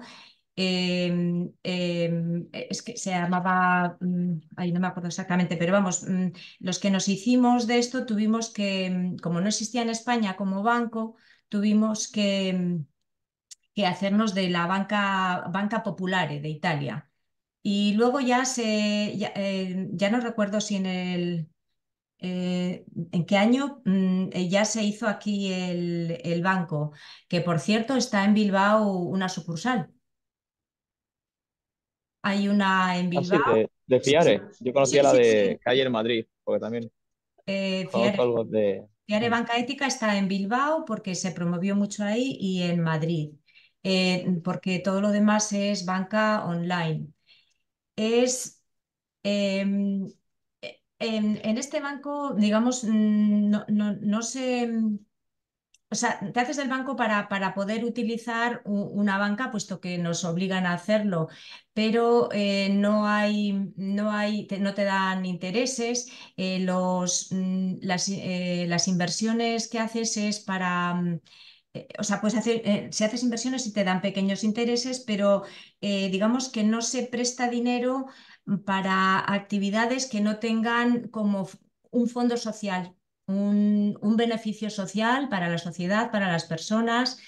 Eh, se financian, por ejemplo, a nosotros eh, en la cooperativa que estoy de Tejiendo Vida, que es un cohousing senior, porque ya somos así mayorcitos, nos, vamos a hacer, eh, nos van a financiar ellos. Este tipo de, financiación sí lo hacen, pero no hacen financiación especulativa ni, ni, pues eso, tiene mucho control aquí, no, desde luego no, no se no se financia nada que vaya para, para, para, las armas o para cualquier otro tipo de cosas que la mayoría de bancos los hacen, porque ahí es donde más dinero se saca. Entonces, eh, digamos que el dinero que tienes no, te remunera mucho, pero lo utilizas para, para las transacciones eh, perfectamente y, sobre todo sabes que que tu dinero, o sea, es como una responsabilidad sobre el dinero que tienes, que tu dinero va a estar invertido en, algo que van a producir em, que va a producir algo bueno para la sociedad.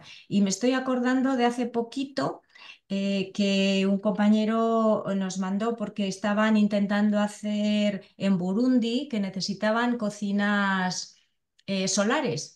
Y pues hace poco ya lo, lo, han conseguido, ya tienen, pero hechas hechas con, por la gente de allí, de Burundi. No es que, que vayamos nosotros a hacerles las cosas, sino se, le, se les da pequeñas financiaciones y ellos mm, mueven sus, sus recursos y su gente. o sea, es, es eso un poco a lo que se dedica. Ya te digo que no se financia nada que no tenga un fondo, un fondo de beneficio social. Bueno, Sí. y me, estoy encantada, pero no sé explicarlo muy bien. No, sí. O sea, yo creo que, que está genial como has explicado. Yo creo que todas lo, lo entendemos, o sea, lo conocemos y, digamos, sí, totalmente a favor de eso, de, de las bancas éticas y de también eso, o sea, cuando decía lo de, eh, pues eso, que las inversiones no, no son como los bancos comerciales tradicionales, así más grandes que nos vienen todas a, a la mente.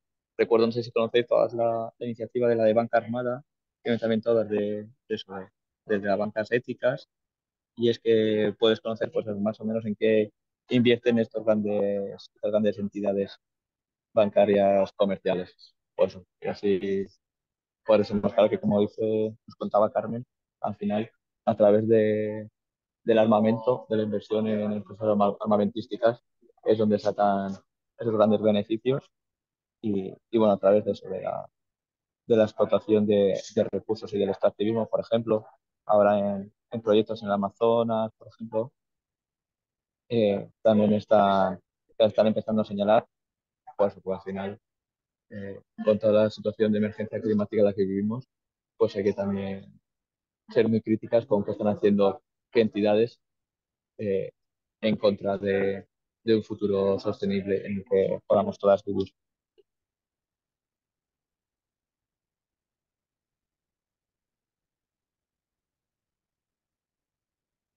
Así pues, pues, muchas gracias Carmen por compartirnos y, no sé, porque no sé si todas conocéis lo que son los proyectos de cohousing.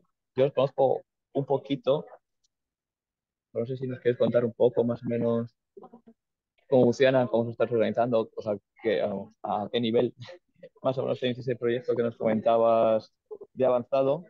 No sé si Sí, ya por lo menos tenéis pues, el terreno y demás, y bueno, Pues bueno, en Castilla y León no existe otro proyecto, pero en Madrid sí que hay y en Barcelona también. Eh, aquí, pues bueno, pues eh, mm, eh, se inició con un grupo de amigos que, mm, para, que querían compartir pues ya los últimos años de vida, dice, bueno, pa- por vivir juntos y todo eso, pero bueno, el proyecto pues necesitaba más gente y, se- y fue creciendo. Eh, queremos ser unas 50 personas, todavía no somos, no estamos todas. Eh, y mm, pues bueno, pues eh, hicimos al final la, cooperativa porque dimos el paso ya para, ya éramos unas cuantas y, fuimos para adelante.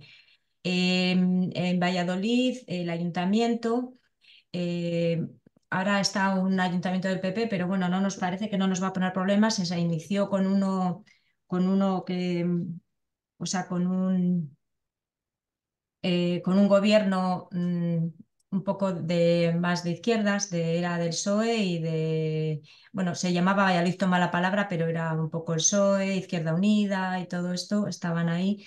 Y no, o sea, se, se planteó un- un- unos terrenos en cesión de uso. Y estamos en ello y estamos a punto de que nos lo concedan y empecemos a construir. Entonces somos personas que eh, estamos entre 50 y 72 años porque nuestra idea es eh, compartir, vamos a tener, vamos, es un pequeño apartamento eh, para cada persona o pareja y después muchas zonas comunes. eh, pues eso, la lavandería es común, la, eh, pues bueno, la, la comida va a ser común, aunque las cenas y desayunos cada uno estaremos en nuestro apartamento también para tener un poco de, sí. de privacidad y de tiempo para nosotros mismos. Eh, es un proyecto muy bonito y el tema es que, bueno, que mm, nuestra idea es que vamos a estar ahí, digamos, hasta el fin de nuestros días, aunque nos llegue dependencia, nos vamos a, a apoyar y, bueno, sí que tendremos gente, no, no, nos vamos, no nos vamos a cuidar físicamente unos a otros, pero pues nos podemos apoyar, pues eso, al vivir juntos, pues acompañar al médico, bueno, esta- estar ahí, ser una, una comunidad y también tenemos intención de hacer un fondo eh, de solidaridad, o sea que ahí está un poco la economía un poco solidaria, ¿no? De, bueno, pues eh, si pues compartir un poco, el que tenga un poco más, pues da un poco, pone un poco más, el que pone que no menos. Y Sí. bueno, pues ahí es donde queremos estar, yo donde sí que quiero estar, me parece que es bonito y bueno, tenemos por supuesto como banco a, a Fiari. Sí, bueno, qué interesante. No sabía también que, que Fiare también apoyaba este tipo de proyectos. Sí, a mí me parece maravilloso, fundamentales. Yo conozco comerciales de Madrid, el de, el de Bustar Viejo, ahí hay uno que están también pues igual en, esa, en esas fases de, de a ver si consiguen la, el terreno en cesión de uso. Y sí, porque nosotros, o sea, eso, con los economistas tenemos en otoño un ciclo de, de un ciclo de cineforo y me parece que este año vinieron para la película de la de Cinco Lobitos, creo que es una película así sobre cuidados y eso, y pues para vernos esa, esa perspectiva que tú dices de cómo desde eh, lo colectivo y lo comunitario también se puede hacer en esos cuidados, se pueden avanzar hacia una nueva forma de, de gestión de los cuidados. Al final todas las personas los necesitamos y, y que romper con esta visión tan individualista que se tiene ahora mismo y familiar de los cuidados, que al final siempre termina cargando sobre, pues, sobre el cuerpo de las mujeres. Así que sí, sí, o sea, muchas gracias Carmen por compartirnos. A mí me parece una experiencia y unas iniciativas muy necesarias. No sé si el resto nos queréis compartir por eso que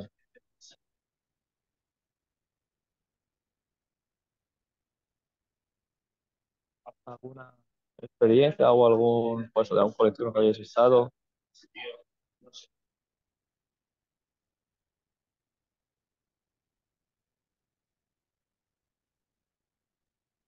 Eh, bueno, yo tenía una pregunta para Carmen.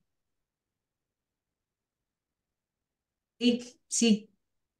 Ah, este, bueno, respecto a justo esto de la banca ética, este, quería preguntarte acerca de, eh, por ejemplo, lo de los microcréditos que se pusieron muy de moda en la década pasada y que después, este, Esther Duflo sacó un trabajo, este, justamente como diciendo que estos microcréditos solo llevaban a gente a espirales de deuda y lo que se llama como la trampa de pobreza, en la cual este, están justamente viviendo día a día buscando pagar esos microcréditos.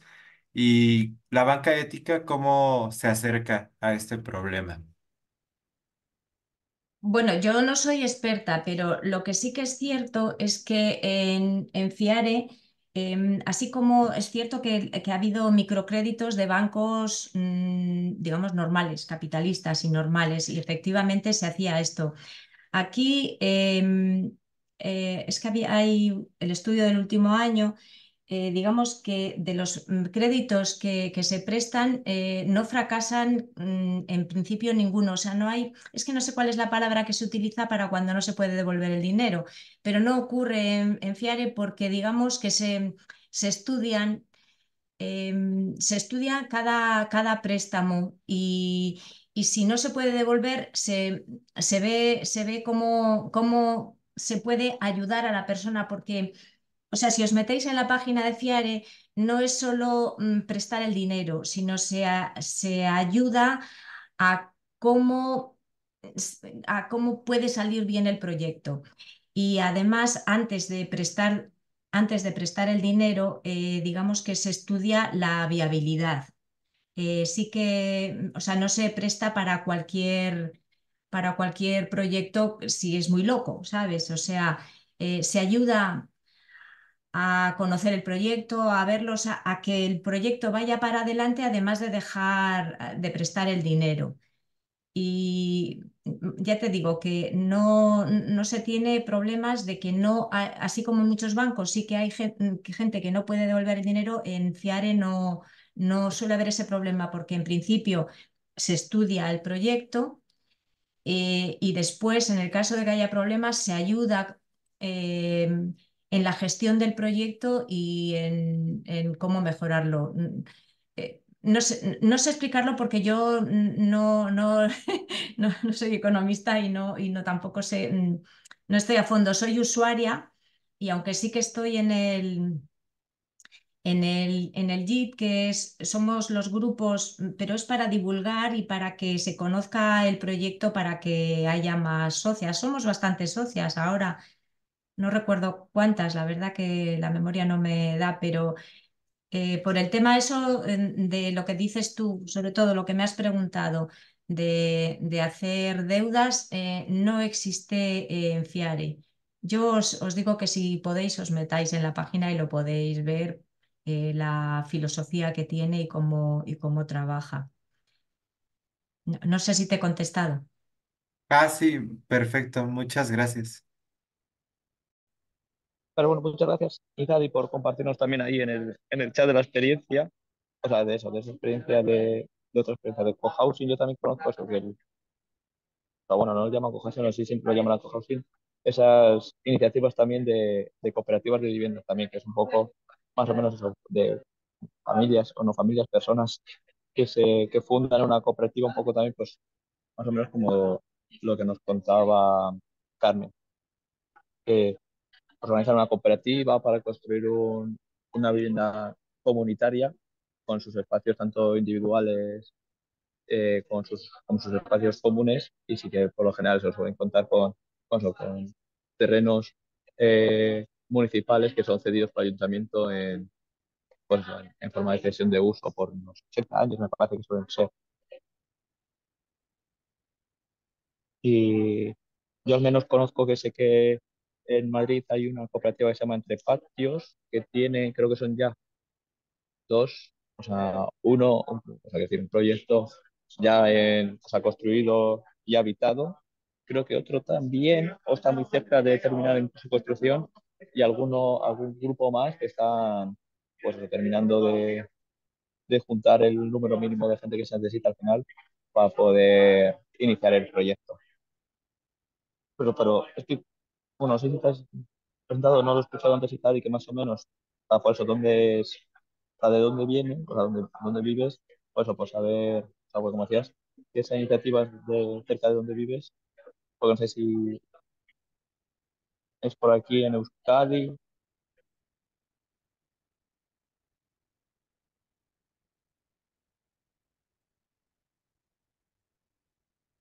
Ah, vale, sí, sí. Por ejemplo, sé que en Barcelona también hay, hay cierta... A San Sebastián, perfecto. Sé que eso, en Barcelona también hay muchos casos, y bueno, luego ya sí que sé que en, en Europa eh, están mucho más, más extendidos esas, formas de, de cooperativas con, con vivienda en cesión de uso territorio. No sé si, Maximiliano, por ejemplo, nos puedes comentar si conoces o te suena que existe algo así similar en México. Si existen esas formas de, de cooperativas, si se Ah. crean esas cooperativas o allí. Sí, este, no, bueno, al menos este, de donde yo soy, soy de la Ciudad de México y aquí como que tal la situación de la vivienda, sobre todo en la periferia, es este, que empiezan a construir eh, vivienda barata eh, pero solo con ahorros propios sin inversión. Entonces, este, muchas veces las casas tienen varillas o este, otras cosas de construcción arriba en caso de que puedan invertir un poco más como del ahorro que les llega de la quincena o de su sueldo para construir un segundo piso o así. Entonces, por eso creo que falta mucho como la implementación de estas políticas de cohousing, sobre todo porque las rentas, particularmente en la ciudad, son extremadamente altas. Entonces, por eso está muy interesante. Y también no sé si este Isadi sepa acerca del impacto de la pandemia eh, sobre esta política o cómo se manejó en esa época. ¿Verdad, Maximiliano? ¿Puedes repetir esta última pregunta? A ver si no te he terminado de escuchar bien. Ah, sí, ¿cómo afectó la pandemia a esta propuesta del ayuntamiento sobre el cohousing?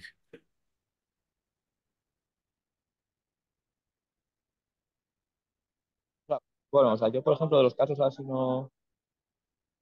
Carmen, ¿nos puedes especificar más o menos también con el vuestro? Pero yo caso que no conozco Madrid o sea, no es que sea una política del ayuntamiento por construir estos cohousing, sino que son pues, personas que se organizan para formar esa cooperativa y el ayuntamiento lo que hace es cederles el terreno. Pero no hace nada más el, ayuntamiento, simplemente les, les cede el terreno para, para que ellos allí ya pues organicen toda la parte de, de construcción y luego gestión posterior. Pero el, rol de, del ayuntamiento, el, rol de la público es simplemente es una cesión de, del terreno para que construyan luego la vivienda. en, Barcelona está más avanzado el tema de la cesión de terreno. Está mm, la borda, os suena, la borda está en Barcelona también como tema de cohousing. Nosotros a veces en vez de cohousing le llamamos vivienda colaborativa para que no sea tan en inglés, pero bueno. Y luego hay otro, otro proyecto otro proyecto no, ya están construyendo, eso sí que están construyendo en Asturias, se llama mm, eh, Asuntarse. Esos, eh, así como el nuestro es solo senior para personas mayores, ellos lo tienen eh, para, o sea, para intergeneracional. Y es en un pueblo y es para familias, jóvenes, mm, incluso les ayudan si están en paro, o sea, es como muy, muy social y son gente mayor con gente joven. Se llama Asuntarse y ya lo están construyendo. No sé decirte el pueblo, pero a ver, a lo mejor lo busco y te lo digo. Pero sí que va viendo, va viendo eh, gente que se reúne y efectivamente es la gente la que lo promueve y la que lo gestiona. Es un trabajito importante. Ah, claro, muchas gracias. Este, sobre todo preguntaba por la parte de la infraestructura, eh, sobre todo si no está desarrollada en esta zona, pero este, sí, la verdad es que entendí un poco mal, pero ya me quedó claro. Gracias.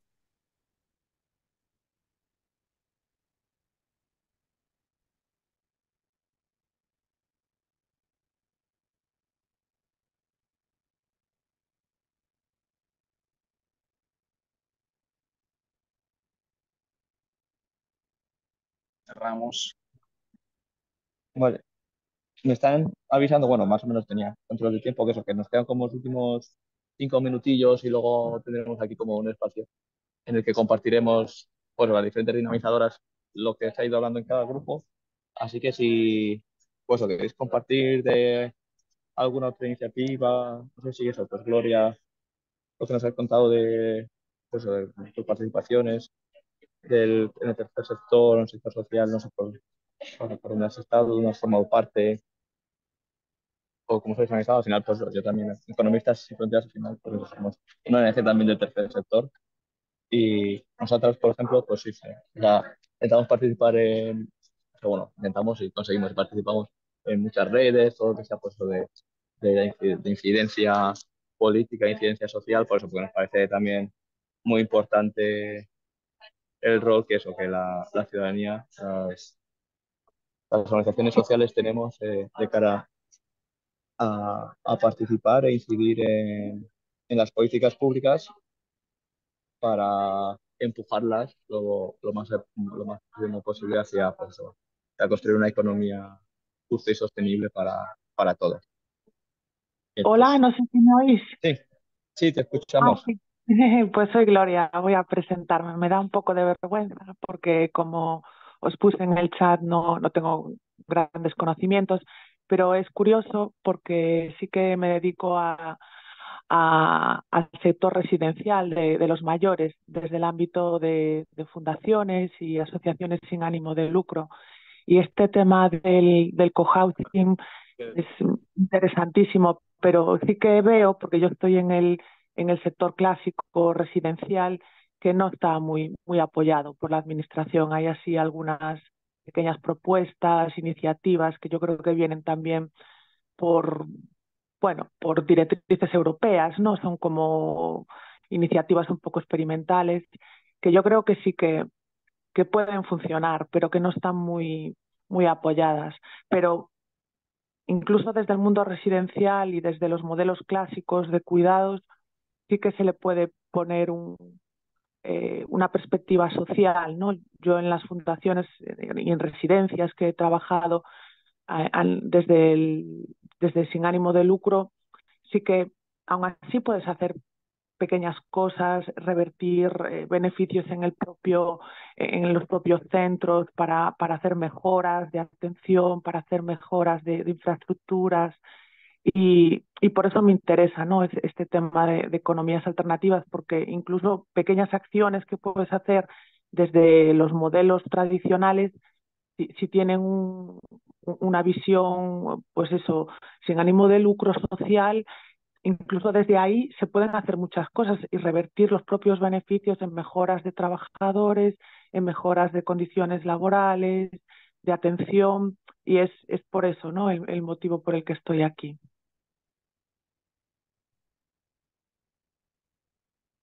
Vale, pues muchas gracias por, por compartirnos la labor que sigue, como dices ahí, porque sea muy, muy poco apoyo público para este tipo de, de alternativas.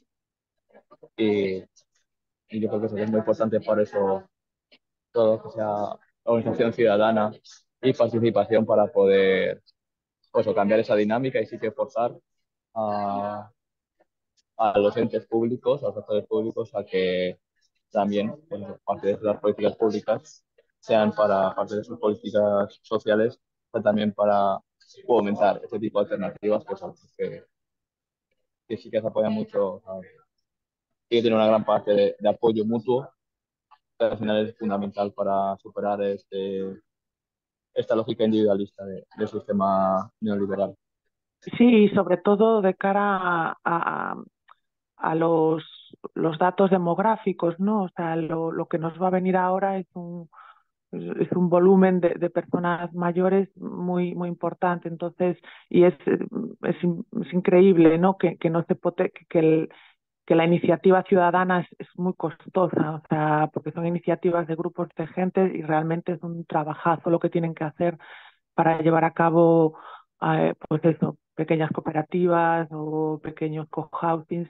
La verdad es que tienen un trabajazo importante porque no, no hay mucho apoyo. Yo, por lo que veo, desde, desde el campo tradicional y residencia pura y dura, ¿no? Como, como instituciones.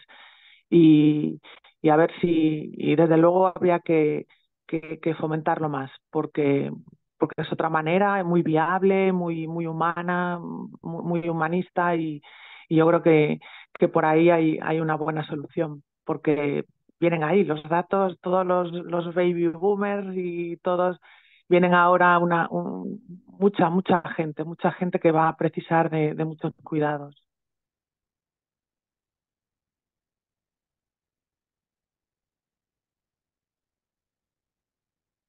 Sí, la verdad es que como dices, pues la, la realidad demográfica pues, apunta que unos años, pues eso, va a haber una gran demanda de, de unos cuidados, es decir, de más cuidados aún, y va a ser importante replantearnos ese modelo, porque yo creo que con la lógica actual que tenemos, pues no es, o sea, no es viable, porque no, no se reciben ni cuidados de calidad, ni, por desgracia, habitualmente las personas cuidadoras tampoco tienen unas condiciones, no sé si a lo mejor por un poco, un poco de suerte, pero por lo general yo creo que las, las condiciones a quienes, o sea, de quienes cuidan luego tampoco están ni social ni económicamente reconocidas eh, para lo importante que son esas tareas. Así que yo creo que sí que, como dices, es muy necesario avanzar hacia un nuevo modelo, pero yo también diciendo que lo comunitario tiene, tiene que ejercer un rol importante y fundamental en la gestión de los cuidados, tanto de, de eso, o sea, cuidados en, en, la vejez, como cuidados en la infancia, como cuidados al final a lo largo de toda la vida. Siempre necesario. Sí, sí, ahí, ahí queda, ahí queda mucho, mucho trabajillo. justo es mi tema y, y, por eso he intervenido. Y del resto, interesantísimo todo. Muchísimas gracias. Nada, muchas gracias a ti por compartirlo.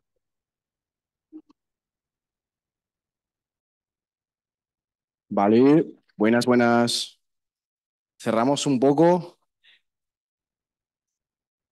Aquí, aquí. Tenemos que cerrar porque si no, no, no, no vamos a avanzar. Em, espero que haya sido provechoso. Ahora haremos un poco de cinco minutos de recap para que los, eh, cada grupo sepa lo que se ha hablado en los otros grupos y se sepa también cuáles, cuáles son las necesidades que han salido en diferentes grupos, dependiendo de las temáticas. Eh, he escuchado algunas cosas bastante interesantes que si ponemos en común puede ser bastante, bastante provechoso. Así que si queréis vamos haciendo, nada, dos, tres minutos de lo que se ha hablado. Depende de quién quiera hablar. ¿Y es más tú? bueno, pues en, en nuestro grupo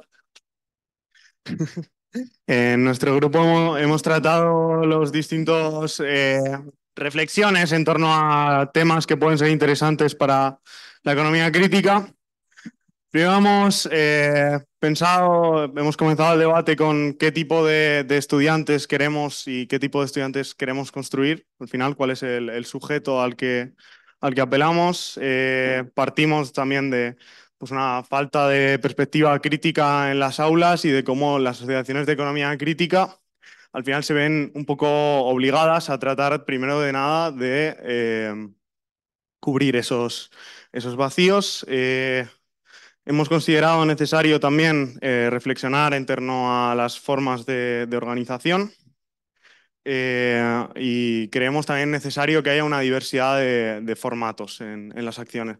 Eh, creemos que al final cuando se hacen solo el mismo tipo de, ponencias, pues son formatos que al final no, no llegan a, todo el mundo y que es muy interesante tratar de mezclar al final con, pues como lo estamos haciendo aquí hoy, por ejemplo, formatos más participativos, formatos donde sean los propios estudiantes los que propongan los temas y, los que se formen para, para exponerlos, mm, formaciones internas, eh, formatos ya más clásicos, eh, trayendo a expertos, profesores, etcétera.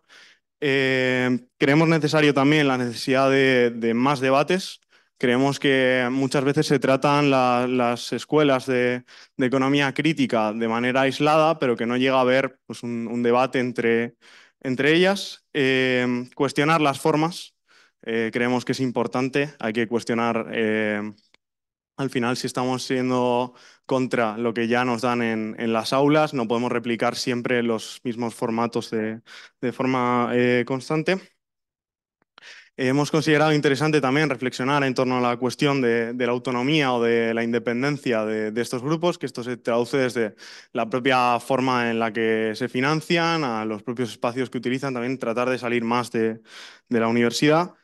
Eh, por otro lado, hemos considerado eh, interesante mm, la necesidad de más organización entre profesores críticos y estudiantes críticos. Creemos que en ciertos momentos hay pues, eh, una, cierta separación que hace que no, no funcione demasiado bien. En cuanto a temas concretos, hemos pensado interesante, bueno, partimos de, la reflexión de, más reciente de movimiento estudiantil eh, que han sido las acampadas por, por Palestina, de las que eh, hemos formado parte. Desde aquí eh, aprovechar para denunciar la, la, complicidad de las universidades españolas con, con el Estado de, de, Israel, en concreto también de la nuestra.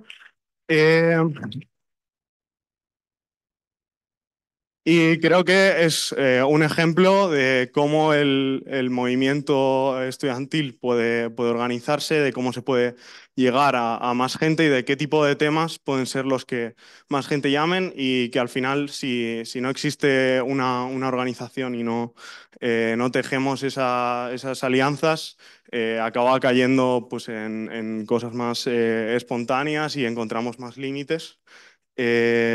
Bueno, por otro lado, en temas eh, hemos considerado interesantes eh, temas de economía feminista y temas de economía feminista no solo desde la perspectiva que se, que se suele abordar, que suele ser pues, una charla al año en las asociaciones de economía crítica, que se queda ahí, que no llega más y que no se llegan a comprender ni las distintas visiones que hay dentro de la economía feminista, ni cuáles son los principales debates.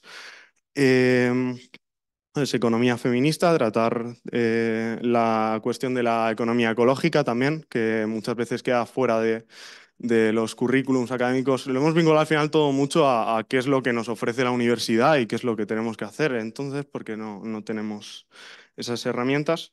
Eh, cuestiones de economía ecológica y de crecimiento, de crítica de la economía política marxista, que es una eh, herramienta muy potente y, y, que puede ser aplicada a muchos espacios y que también desde la universidad hay ciertas eh, carencias en torno a ello. Eh, cuestiones de metodología y filosofía de la ciencia, de estructuralismo y pensamientos no occidentales. hemos estado hablando también de pues las distintas visiones latinoamericanas, históricas, y de cómo eso no, no se suele incorporar. Eh, tengo por aquí pluralidad de temas y metodologías, eh, más formación práctica y conocimiento contrahegemónico, eh, hacer entender pues, cómo funciona un sindicato, cómo nuestra formación se basa en la universidad en pues, la disciplinación, el disciplinamiento de, la fuerza de trabajo para, para su incorporación al mercado laboral. Eh, desde una perspectiva neoliberal y pues cómo eh, construir contrahegemonía en ese sentido. Eh, hemos considerado interesante también explorar el ocio y la cultura como cuestiones a, incorporar dentro de, la economía crítica y para hacer que las universidades sean espacios eh, más, más activos, pues dentro de aquí, ¿no? En cultura encontramos, podemos hacer cineforums, eh, colaboración entre asociaciones universitarias y escuelas de arte, por ejemplo. Hay muchos formatos que, se pueden explorar en torno al ocio y la cultura. Eh, cuestión de explorar nuevos indicadores económicos y cuestionar los que ya existen, reflexionar en torno a los ciclos y un problema que hemos detectado dentro de, eh, las asociaciones universitarias al final es que los ciclos universitarios son muy cortos y una vez estás entrando en una asociación de, eh, economía crítica, ya estás prácticamente buscando cuál, cuál va a ser el relevo generacional y cómo tratar de romper eso, cómo, cómo lograr llegar a, los estudiantes de, de primero año a año. Y bueno, por último, también eh, tratar cuestiones no solo de economía, sino también de historia, de las relaciones internacionales, tratar de vincular, salir un poco de, de los temas que, solemos tratar y aproximar temas concretos desde perspectivas, porque muchas veces hacemos charlas de, pues vamos a hacer una charla sobre economía ecológica y viene un profesor experto en economía ecológica y explica el tema, pero mm, tratar más un tema concreto desde esa perspectiva puede ayudar a aterrizar mejor los enfoques y a salir un poco de, la universidad, que al final pues es eh, un espacio interclasista un espacio con, con, muchas limitaciones y tratar de ver cómo vinculamos los movimientos en la universidad con, con la calle y con los barrios. Muchas gracias. Es que ricasco.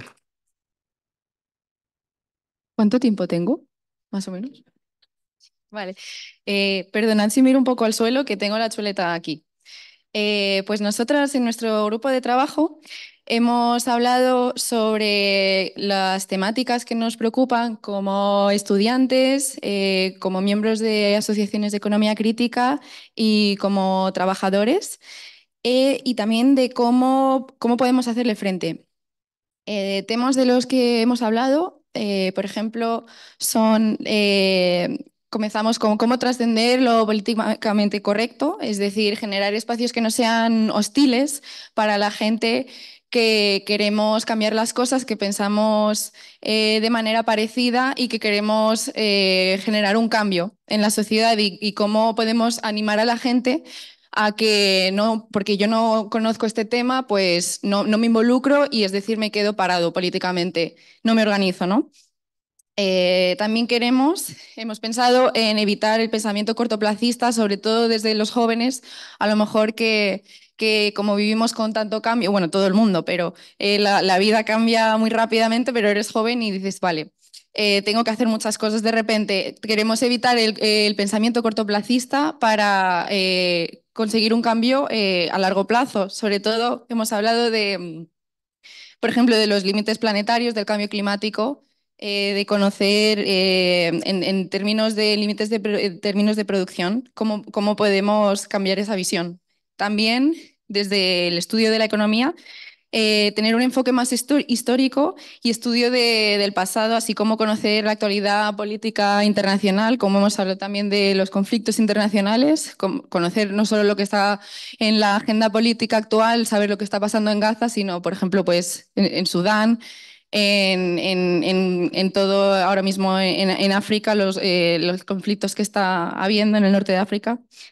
Em, también desde el movimiento estudiantil em, queremos eh, paliar esa falta de fuerzas que con la que nos estamos encontrando muchos estudiantes dentro de las asociaciones y para ello queremos plantear las actividades de que sean más atractivas, eh, cómo hacerlas más inclusivas para que venga más gente Em, también hemos planteado eh, que queremos disputarla, que queremos que las asociaciones sean lugares de disputar la hegemonía dentro de la universidad y mm, eh, para ello hemos pensado eh, que deberíamos hablar más entre nosotros para preguntarnos, oye, ¿y tú cómo te relacionas con tu decanato? porque a mí me ponen estas trabas, ¿vosotros cómo lo hacéis? ¿Cómo, cómo podemos tejer una red de, de que no estamos solos cuando hablamos desde individualmente, enfrentándonos a las instituciones y, mm, queremos, eh, pues eso, hacer nuestras actividades, que venga gente, que la gente participe.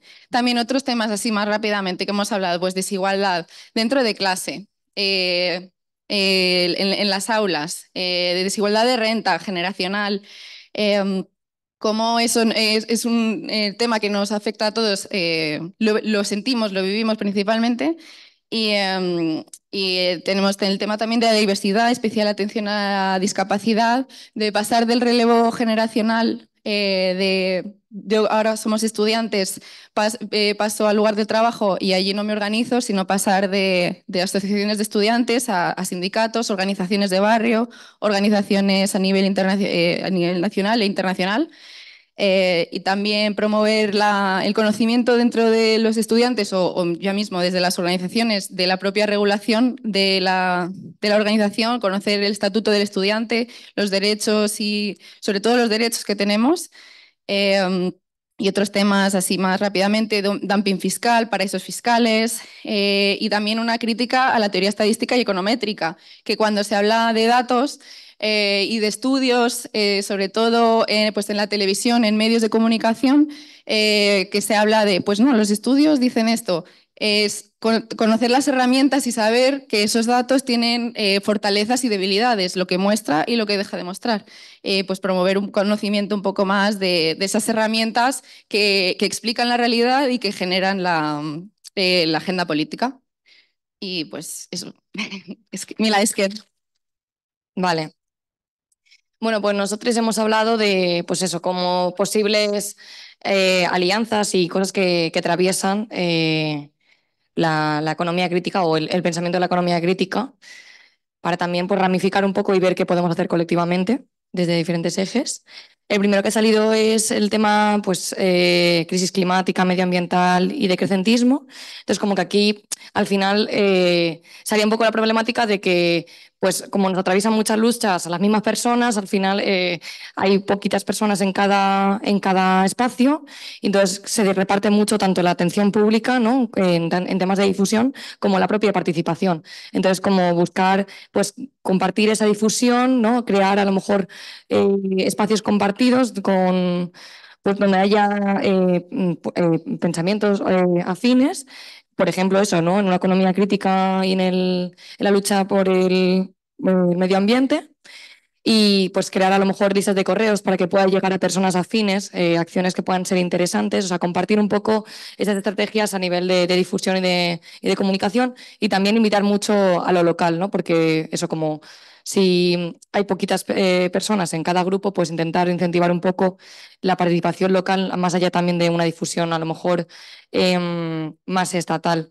También importante en el tema de decrecentismo ha salido el tema de, hablar de la redistribución de la riqueza, ¿no? cómo, cómo aterrizar estos, em, estos conceptos a nivel teórico y, que sea un, un, tema importante en el decrecentismo, así como también hablar de dónde, dónde hay que decrecer y dónde a lo mejor ni siquiera se ha llegado a ese desarrollo económico desde una perspectiva anticolonial también, ¿no? y hablar de, del expolio y que, ha habido.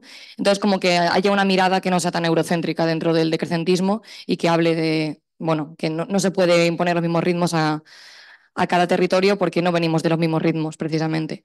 También una perspectiva desde el activismo, o sea, del el arte como activismo, hacer acciones en la calle para también llegar a más, a más público y que sea algo como muy, muy visual y, y así tener un impacto, por ejemplo, también como en el teatro de calle.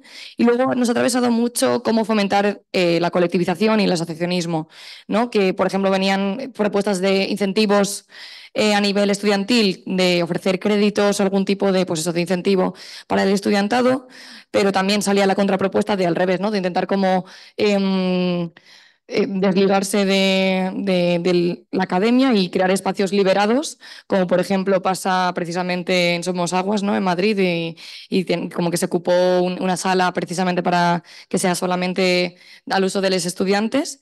Eh, entonces hay, variedad. A lo mejor hay colectivos pues, que pueden ir más por la parte de, incentivos eh, de la universidad u otros que sean como más, pues eso, de, eh, pues contra esa hegemonía. Sobre todo también aquí hemos visto muy importante fomentar los cuidados, porque muchas veces no nos podemos movilizar precisamente porque traemos cada uno en nuestras mochilas y es complicado abrirte, sobre todo también como han dicho aquí los compis, pues cuando a lo mejor no conoces muy bien un término o es tus primeras experiencias, ¿no? Y se crea un ambiente hostil donde no se pone en valor la diferencia y la individualidad. Entonces, que eso sea, esos, los cuidados no sea una herramienta por la que pasar, sino sea un objetivo central de lo que nos está ocupando, que es precisamente pues, mm, ganar también calidad de vida a todos ¿no? y, que nos apetezca eh, pertenecer a los grupos y no simplemente que tengamos que estar ahí por algún tipo de, pues, de ejercicio de conciencia. Entonces, cosas que pueden ayudar a los a los cuidados y a la pertenencia a la comunidad puede ser pues, establecer unos calendarios fijos eh, para que de una sensación como de estabilidad, de, ubicación y de ritualidad, así como pues, crear eh, acciones directas, concretas, donde se puedan ver el impacto en el momento inmediato y, que no sea como algo que, se diluya a nivel teórico, sino como sea algo reconocible a, en forma visual y también pues fomentar mucho eh, salir un poco de la bibliografía y de la academia y hacer espacios de educación no formal donde pues, aquí importa mucho la metodología, ¿no? donde se puedan crear conversatorios, como aquí ahora hoy, talleres, y, se salga un poco pues, del formato una persona hablando y los, demás recibiendo, sino escucharnos un poco entre todos y ver un poco que también eh, cuál es la realidad social detrás de los discursos que traemos. En la comunicación hemos visto problemas, pues eso, cómo llegar al público promedio. Entonces creemos que podría ser una herramienta importante para eh, asociaciones y colectivos recoger el feedback de cuáles son las dificultades de su público para entender sus mensajes y recibir como su difusión. Y, también indagar en cuáles son las creencias que motivan a, las personas a, bueno, pues a seguir un poco como el statu quo, ¿no? En plan, eh, para poder cambiar la actitud, pues primero hay que llegar a, lo cognitivo y entonces entender cuáles son las creencias detrás de, seguir perpetuando eh, los roles del sistema. En el sector público hemos identificado pues, que sería muy, muy interesante eh, presionar también para conseguir eh, medidas económicas eh, que amplíen y respalden lo público, así como también que generen informes sobre cómo es la distribución de trabajos. De nuevo, en el tema de los cuidados, pues cómo precisamente está haciendo mucha presión, no solamente en personas feminizadas, sino también de territorios que encima han sido colonizados y, y de los cuales pues, eh, eh, nos aprovechamos de esas fuerzas de trabajo. Entonces, cómo hacer esto público y, presionar para que se hagan estos informes de quiénes están haciendo qué trabajos y cómo eso repercute también en la economía de la reproducción social o de los cuidados también. Aquí también, obviamente, pues eh, ha salido mucho el tema de los tiempos y el tiempo, entonces, pues también presionar para una reducción de la jornada laboral, ¿no? que está hoy muy en boga y yo creo que nos encantaría. Y bueno, eh, también de los últimos de acabo de, alianza sería con el profesorado de primaria y secundaria para empezar como a plantear estos temas eh, desde la base y que sea algo como más progresivo. Sería interesante pues formatos así como de escuelas de verano para ir motivando un poco y esa presencia de comunidad y que haya como algo más de interacción grupal. Y luego, bueno, obviamente que ha salido muchísimo también en, el tema de los feminismos, pues eh, además ha salido con una perspectiva ya interseccional, ¿no? De, estar conectando lo que pasa no solamente eh, en este territorio, sino en diferentes territorios y así ubicar un poco en esta perspectiva de colonial y, y pues aquí he salido justamente ¿no? de, de esta crisis de los cuidados y, del decrecentismo que hilaba con el primer punto.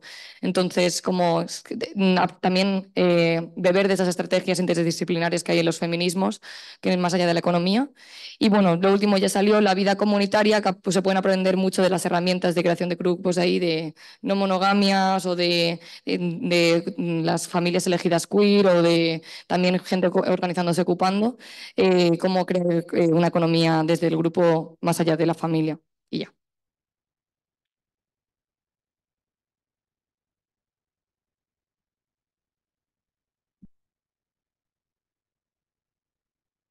Vale, pues bueno, yo primero agradecer a las compas con las que estaba en modo online, que por eso que así a veces lo virtual facilita el poder participar todas, pues también requiere como un esfuerzo, así que pues las quiero agradecer, que incluso había pues es un compa de México que con la diferencia horaria, no sé si os ha costado tarde o se ha levantado muy temprano.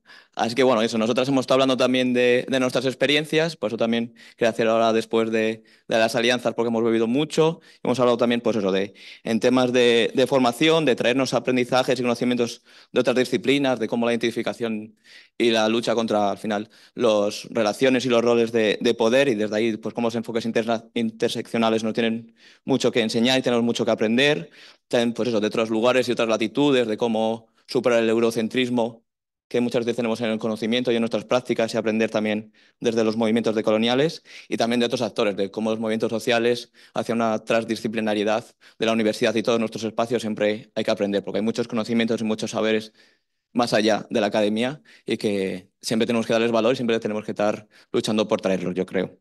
Y luego ya hemos hablado también de iniciativas en las que han ido participando, hemos hablado pues de de la banca ética, de cómo es importante también hacer ese activismo por visibilizar los roles que tiene la banca y las entidades comerciales en cuanto a sus inversiones en actividades contra la sostenibilidad de la vida en banca. O sea, que decir, en empresas armamentísticas, como decía también el compañero, que además ahora se está visibilizando mucho contra el conflicto, el genocidio, que están teniendo el pueblo palestino y también en cuestiones de inversiones extractivistas, que nuestras grandes bancas comerciales son grandes inversores en actividades extractivistas, así que como desde la banca ética organizadas podemos luchar contra eso y visibilizarlo. Y también hemos hablado de las viviendas en cooperativas, de cómo también, pues eso, son proyectos para superar ese enfoque individualista neoliberal y cómo desde la comunidad trabajar por eso, por unos otros proyectos de vida en el que los cuidados también, en vez de ser individualizados, también sean comunitarios. Así que, sin extenderme más. Aló. Eh, bueno, nada, nosotros el, el, grupo del tema de la práctica docente, eh, básicamente la, hicimos como un diagnóstico un poco del, de la economía crítica, ¿no? Entonces, bueno, para resumir los puntos, este, por un lado el tema de lo importante de, digamos, de discutir la, la heterodoxia, de, de sentar a la mesa y decirle como que, mira, lo que, o sea, el tema de que porque sea heterodoxo no quiere decir que no sea, o sea, que porque sea ciencia social, eh, entonces suele la heterodoxia, la ortodoxia no considerarla, entonces decirle que mira, que no, o sea, que las ciencias sociales no pueden verse de esa manera, ¿ok? El tema de la, de la politizar, ¿no? De la cuestión de la política, de la, de la economía, de, de cómo vincularlo a la vida cotidiana, este, porque bueno, interesante que en el grupo había profesores, estudiantes, entonces eso fue interesante, la pregunta de por qué estudiar economía, qué entendemos como economía, cómo percibimos la economía de, dentro de la práctica docente, cómo se la, se la transmitimos al, al alumnado este, el hecho de que están claros los, están claros los límites que tienen la, la, economía crítica o la heterodoxia dentro, del, dentro de las universidades. Eh, aquí en, y en el resto del mundo, el tema de la precariedad docente, el tema de que suelen ser optativas, el tema de que eso influye incluso en la motivación misma del docente ya de dar una clase Ok, por todos los límites que puede dar, entonces, de alguna manera, la pregunta de cómo estimular la, el aprendizaje y la, y la pedagogía, eh, se habló de la erotización de la pedagogía y el, y el aprendizaje, ¿no? Eh, de un poco hacer preguntas dentro de la, de la economía, que con este tema de la ciencia de datos y el Big Data y etcétera. Entonces estamos aprendiendo a resolver, pero no estamos aprendiendo a reflexionar. Entonces es alguno de los problemas que, que tenemos, eh, ser conscientes también de los límites que tenemos de la, de la economía crítica, o sea, del estudiantado, que, que a mí me parece interesante en base a escuchando las demás intervenciones, que bueno, que eso puede servir para acercar la, a la economía crítica al estudiantado. Este, ¿qué más? Eh, bueno, y el tema del, del, tiempo, para, para, resumir, el tema del tiempo, que uno de los problemas que hay es el tema del tiempo, cómo sacar tiempo para, para impartir la, la, la, la docencia crítica, eh, que bueno, que de alguna manera aprovechar los distintos proyectos que hay dentro, o sea, como la Agenda 2030 o los proyectos de innovación docente, los debates, las discusiones, o sea, de alguna manera lo importante de vamos, lo importante de pensar, lo importante de, de sentarse a pensar para, para formar un, un, pensamiento crítico. Entonces, los profesores y las profesoras preguntarse cómo, cómo conectar con el, alumnado, que eso es importante, la, la, comunicación, o sea, para un pensamiento crítico. Y bueno, ya lo he dicho, las problemáticas que tienen la, las asignaturas. ¿Y qué más? Bueno, vamos, ay, bueno, y esto que bueno, que hemos hablado así como que nos parece interesante que formar un grupo, ya sea de WhatsApp, de Telegram, lo que sea, ¿no? Porque esto también se trata, además de diagnosticar, de proponer. Entonces, de qué propuestas hay desde los distintos profesores y profesoras que hay aquí eh, para fomentar la economía crítica y también desde el, desde el estudiantado, claro, porque digamos que por un lado está el que da y el otro el, el que recibe, ¿no? Entonces, ¿cómo cómo, qué propuestas, qué tenemos, qué nos gusta, qué no nos gusta dentro de, de la enseñanza para fomentar universidades críticas y bueno, y ir poco a poco recuperando los espacios, que también fue algo que se habló, el tema de que cada vez el, el espacio de la economía crítica, y si me dejo algo y alguien lo quiere señalar, porque creo que fui muy rápido y, y ya está.